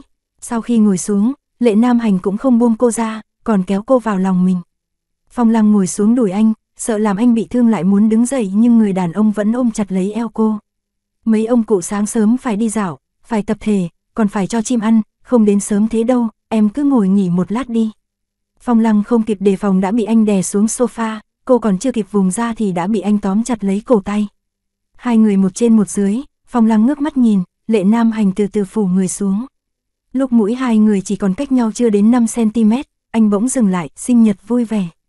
Phong lăng ngửa đầu ra sau, tuy rằng như vậy cũng không giãn được khoảng cách giữa hai người, cùng lúc đó cô ngẩn ra hỏi. Sinh nhật ai cơ, em, sinh nhật em sao em không biết, lệ nam hành lấy điện thoại trong túi áo cô ra, bật sáng màn hình điện thoại đưa cô xem, anh không nhìn thấy nhưng không có nghĩa là anh không biết ngày tháng trôi qua thế nào. Phong lăng sững ra một lúc lâu mới nhớ ra, hôm nay đúng là ngày sinh nhật thật của cô. Sau khi cô về nhà họ Phong, hai ông bà còn cầm giấy khai sinh ngày nhỏ của cô đi đăng ký lại, nhưng vì từ nhỏ đến lớn cô không đón sinh nhật thật sự bao giờ, dù sao cũng không biết cụ thể là ngày nào nên cô cũng không để chuyện đó trong lòng, căn bản không hề nhớ ngày này. Nhìn ngày tháng hiển thị trên màn hình điện thoại, cô nói thế nên. Hôm nay bốn ông đến đây là để, cố tình đến chúc mừng sinh nhật cô cháu dâu còn chưa đón được về cửa đấy. Lệ Nam Hành vừa nói vừa quăng điện thoại lên sofa, rồi lại cúi đầu tìm mũi của cô hôn mấy cái, nên là dù em không chuẩn bị gì thì các ông cũng sẽ không trách em đâu. Các ông còn muốn mời em ra ngoài ăn hơn là thấy em bận rộn cơm nước cho cả nhà thế này. Chính vì các ông sắp tới nên em mới muốn đích thân nấu gì đó, cũng không phải để làm gì, em chỉ mong các ông có thể thấy được là em đang cố gắng chăm sóc anh, tránh. Tránh cái gì? Tránh để các ông không yên tâm, muốn đón anh về nhà họ lệ à? Không, em không mất tự tin đến mức đó, nhưng em vẫn mong các ông có thể yên tâm hơn một chút. Ừ, anh nghĩ là nếu giờ trong bụng em có thể có một đứa bé thì các ông còn yên tâm hơn nữa cơ, đảm bảo trước khi đứa nhỏ ra đời, các ông sẽ không dễ dàng tới cửa làm phiền chúng ta đâu. Cảm nhận được anh đang ám thị hành động mang tính tượng trưng nào đó, cô bỗng nghiêm mặt, giờ vẫn còn là ban ngày ban mặt đấy lệ nam hành. Thì chính vì là ban ngày đó, liên tục ôm em ngủ hai đêm liền, em có biết là anh đã phải kiềm chế đến mức nào không? Phong lăng đỏ bừng cả mặt, đúng lúc này, chuông cửa vang lên, hai người đang ngồi trên sofa hơi giật mình, phong lăng vội nhân. Cơ hội đẩy người kia ra, chỉnh lại mái tóc đang hơi rối, anh còn bảo các ông không đến sớm, đã bảo hôm nay đến thì kiểu gì cũng không dề già đâu mà. Không tại anh thì em đã cho thức ăn vào nồi rồi. Lệ Nam Hành hầm hừ, nếu không phải các ông đến, đúng lúc thì giờ anh đã nhét được chát đích tôn của các ông vào bụng em rồi. Phong lăng cố kiềm chế không cười dép đập anh, cô nhanh chóng đi ra mở cửa. Cửa vừa mở, cô đã thấy hình ảnh bốn ông cụ đứng chỉnh tề, nghiêm túc đập ngay vào mắt, nghiêm túc như thể các ông sắp về nước tới quảng trường Thiên An Môn để kéo cờ vậy. Bạn đang nghe chuyện trên kênh truyện Tiên Hiệp Audio, nếu thấy hay hãy like, share và nhấn nút đăng ký kênh để ủng hộ mình nhé. Chương 1399, ngoại truyện 662. Chương 662 Nam Hữu Phong Linh, Bắc Hữu Hành Mộc 662. Đáng ra mấy ông cụ còn lại vẫn rất thoải mái, nhưng bị Lệ Quân Diên cảnh cáo một trận, lúc này thấy Phong Lăng mở cửa cũng không thể thả lòng được. Phong Lăng thì rất lễ phép, dù sao cũng biết tính khi ương ngạnh của bốn ông cụ từ trước rồi, cô mở cửa, gật đầu chào, Lệ lão. Nhất thời cô không biết nên chào hết cả bốn ông là Lệ lão hay phải chào từng ông một. May mà không đợi cô tiếp tục lên tiếng, Lệ Quân Diên đã nói trước. Ừ, Nam Hành vẫn đang nghỉ hả? Không ạ, anh ấy dậy từ sớm rồi, dạo này sức khỏe hồi phục tốt, không cần phải ở mãi trong phòng nữa à? Phong Lăng mở cửa, lấy mấy đôi dép mới để đi trong nhà ra. Trong phòng khách, Lệ Nam Hành đã kịp nhanh chóng chỉnh lại đống chăn gối lộn xộn trên sofa, ngồi tử tế ở đó, tay cầm cốc nước mật ong đã nguội, Trương ra vẻ mặt như thể vừa rồi không có chuyện gì xảy ra, nói về phía mấy ông cụ, các ông đến rồi à. Từ lúc Lệ Nam Hành xuất viện, bốn ông cụ chưa gặp anh, thấy vẻ mặt thản nhiên của anh, các ông còn tưởng mắt anh đã khỏi. Nhưng nhìn kỹ là biết mắt anh vẫn chưa lành, mặc dù không thấy vết tích gì trên sofa nữa, trên bàn trà cũng chỉ có một cốc nước, chỗ hoa quả đã vơi một nửa và cái iPad để trên đó, nhưng cổ áo của Lệ Nam Hành lại bị bung hai chiếc cúc vì lúc nãy rằng co với phong lăng, để lộ ra mấy vết đỏ do móng tay chẳng may cào vào chỗ xương quai xanh. Tuy rất nhạt thôi, chứng tỏ cào không mạnh nhưng nhìn một cái là ra ngay chuyện chỉ mới vừa xảy ra. Cụ ba nhà họ Lệ, bốn ông cụ đều là người từng trải, sao có thể không nhìn ra ở căn phòng khách trông có vẻ yên tĩnh này vừa xảy ra chuyện gì cho được. Lúc này, bầu không khí bỗng trở nên kỳ lạ, ai nấy đều nghĩ có phải mình đến không đúng lúc rồi không. Cảm nhận được bầu không khí quái lại này, lệ Nam Hành. Nam Hành, mắt cháu thế nào rồi? Lệ quân diên mở lời trước tiên, đến thì cũng đã đến rồi, ban ngày thế này chắc cũng không ảnh hưởng đến việc hai người, tạo, em bé, cùng lắm tối họ không ở lại nữa, không làm phiền hai đứa là được chứ gì. Vẫn ổn ạ, thỉnh thoảng có thể nhìn thấy xíu ánh sáng. Lệ Nam Hành đặt cốc nước mật ong xuống, hơi giơ tay lên, đây là nơi cháu. Mấy năm trước, không phải nhà của Phong Lăng, các ông không cần thận trọng vậy đâu, cô ấy sợ các ông đến nhà cô ấy sẽ không được tự nhiên nên cố tình đổi qua đây đấy. Gì mà của cháu của con bé, của cháu cũng là của con bé rồi. Lệ quân diên vừa nói vừa đi tới, ngồi xuống cạnh lệ nam hành. Ba ông cụ còn lại cũng ngồi xuống cái sofa bên cạnh, nhưng cụ ba ngồi một lúc chán quá lại đứng dậy đánh giá căn chung cư ở Los Angeles của lệ nam hành, dù sao thì trước đây ông ấy cũng chưa có cơ hội tới đây. Nghe thấy lời ông Lệ vừa nói, Phong Lăng bỗng không biết nói gì, chỉ có thể nhìn về phía Lệ Nam Hành. Lệ Nam Hành theo quán tính với lấy cái chăn đắp lên chân mình. Tuy không nhìn thấy nhưng anh vẫn cảm nhận được ánh mắt của bốn ông cụ và Phong Lăng, anh nhướng mày, đúng thế, của cháu là của cô ấy. Ông cháu cũng chính là ông cô ấy, sớm muộn gì cũng phải vào cửa nhà họ Lệ. Phong Lăng, em đã nghe thấy chưa? Chuẩn bị tinh thần sớm đi, sau này không cần gọi là Lệ lão nữa, cứ gọi từ ông nội tới cụ tư là được rồi. Đúng, đúng, đúng, Phong Lăng, ông là cụ ba của cháu. Ông là cụ tư của cháu, ông là cụ hai của cháu, ông cả lệ quân diên. Khụ, lúc này, vẻ mặt của Phong Lăng còn kỳ hơn cả của bốn ông. Vì Phong Lăng không thích ứng được, nên bầu không khí trong phòng khách lại rơi vào tình trạng khó tả. Dù Phong Lăng cảm thấy không thể nào, nhưng lúc này cô vẫn có cảm giác bốn vị uy phong khắp nơi này dường như thật sự muốn tới đây để dỗ dành cô cháu dâu là cô. Thật ra cô vẫn chưa thích ứng được với những chỗ có nhiều người náo nhiệt, cũng chỉ khi nào ở trước mặt mấy người anh em thân thiết nhất trong căn cứ hoặc ở trước mặt lệ nam hành, cô mới thỉnh thoảng thả lòng mình một chút. Giờ bỗng có bốn ông cụ ở đây, cô thật sự không thể tùy tiện được. Nhưng nếu ôm suy nghĩ mấy ông đến thăm cô, cô chỉ coi như chưa nghe thấy những lời vừa rồi, hắng giọng các ông uống trà nhé. Không cần phiền phức vậy đâu, không cần, cụ tư nói rồi vội nhìn sang anh cả. Lệ quân diên sau khi nhìn thấy phong lăng như một nàng dâu nhỏ cũng vội phản ứng lại, đúng, không cần phiền vậy đâu. Bốn ông cụ đưa mắt nhìn nhau, lại ngồi xuống ghế, ngồi rất nghiêm chỉnh, sau đó lại nhìn chằm chằm vào mặt Phong Lăng, như muốn nhìn thấy một đóa hoa nở trên đó. Phong Lăng không biết nên nói gì vào lúc này, chỉ cảm thấy tốt hơn hết là cô nên kiếm việc gì đó để làm. Cô không thể nào thản nhiên như lệ nam hành, ngồi trước mặt mấy ông cụ để các ông nhìn mình được. Cuối cùng cô vẫn mượn cơ đi pha trà để chuồn mất. Hai phút trôi qua, phòng khách vẫn im lặng như tờ, mấy ông cụ đều cảm thấy không thể tin nổi. Hồi lệ Nam Hành mới được đón về Los Angeles, các ông cũng từng gặp Phong Lăng ở trong viện. Tuy lúc ấy Phong Lăng không đi lại ngoài phòng bệnh của lệ Nam Hành, nhưng cô vẫn luôn ở trong viện lặng lẽ chờ đợi. Lúc bấy giờ, ngẫu nhiên gặp vẫn thấy cô để tóc dài, nhưng trông vẫn như hồi còn ở trong căn cứ, lạnh lùng, hờ hững, chỉ khách khí gật đầu với bốn ông cụ rồi thôi. Bây giờ, tới nhà nhìn thấy Phong Lăng, thấy cô mặc bộ đồ đôi ở nhà với lệ Nam Hành, mái tóc buộc gọn sau đầu, sạch sẽ gọn gàng, dáng vẻ bận rộn của cô thật sự rất giống một nàng dâu, hoàn toàn không còn vẻ sắc sảo, lạnh lùng như hồi còn trong căn cứ nữa. Thì ra Phong Lăng cũng có mặt nữ tính như thế này, cô bé trông có vẻ dè dặt, hiểu chuyện, lễ phép, ít nói nhưng lại khiến người ta rất yêu mến. Trông Phong Lăng lạnh lùng vậy thôi, chứ cô là người rất tinh tế, sau này nếu sinh con thì chắc chắn sẽ là một người mẹ tốt. Bạn đang nghe chuyện trên kênh truyện Tiên Hiệp Audio, nếu thấy hay hãy like, share và nhấn nút đăng ký kênh để ủng hộ mình nhé.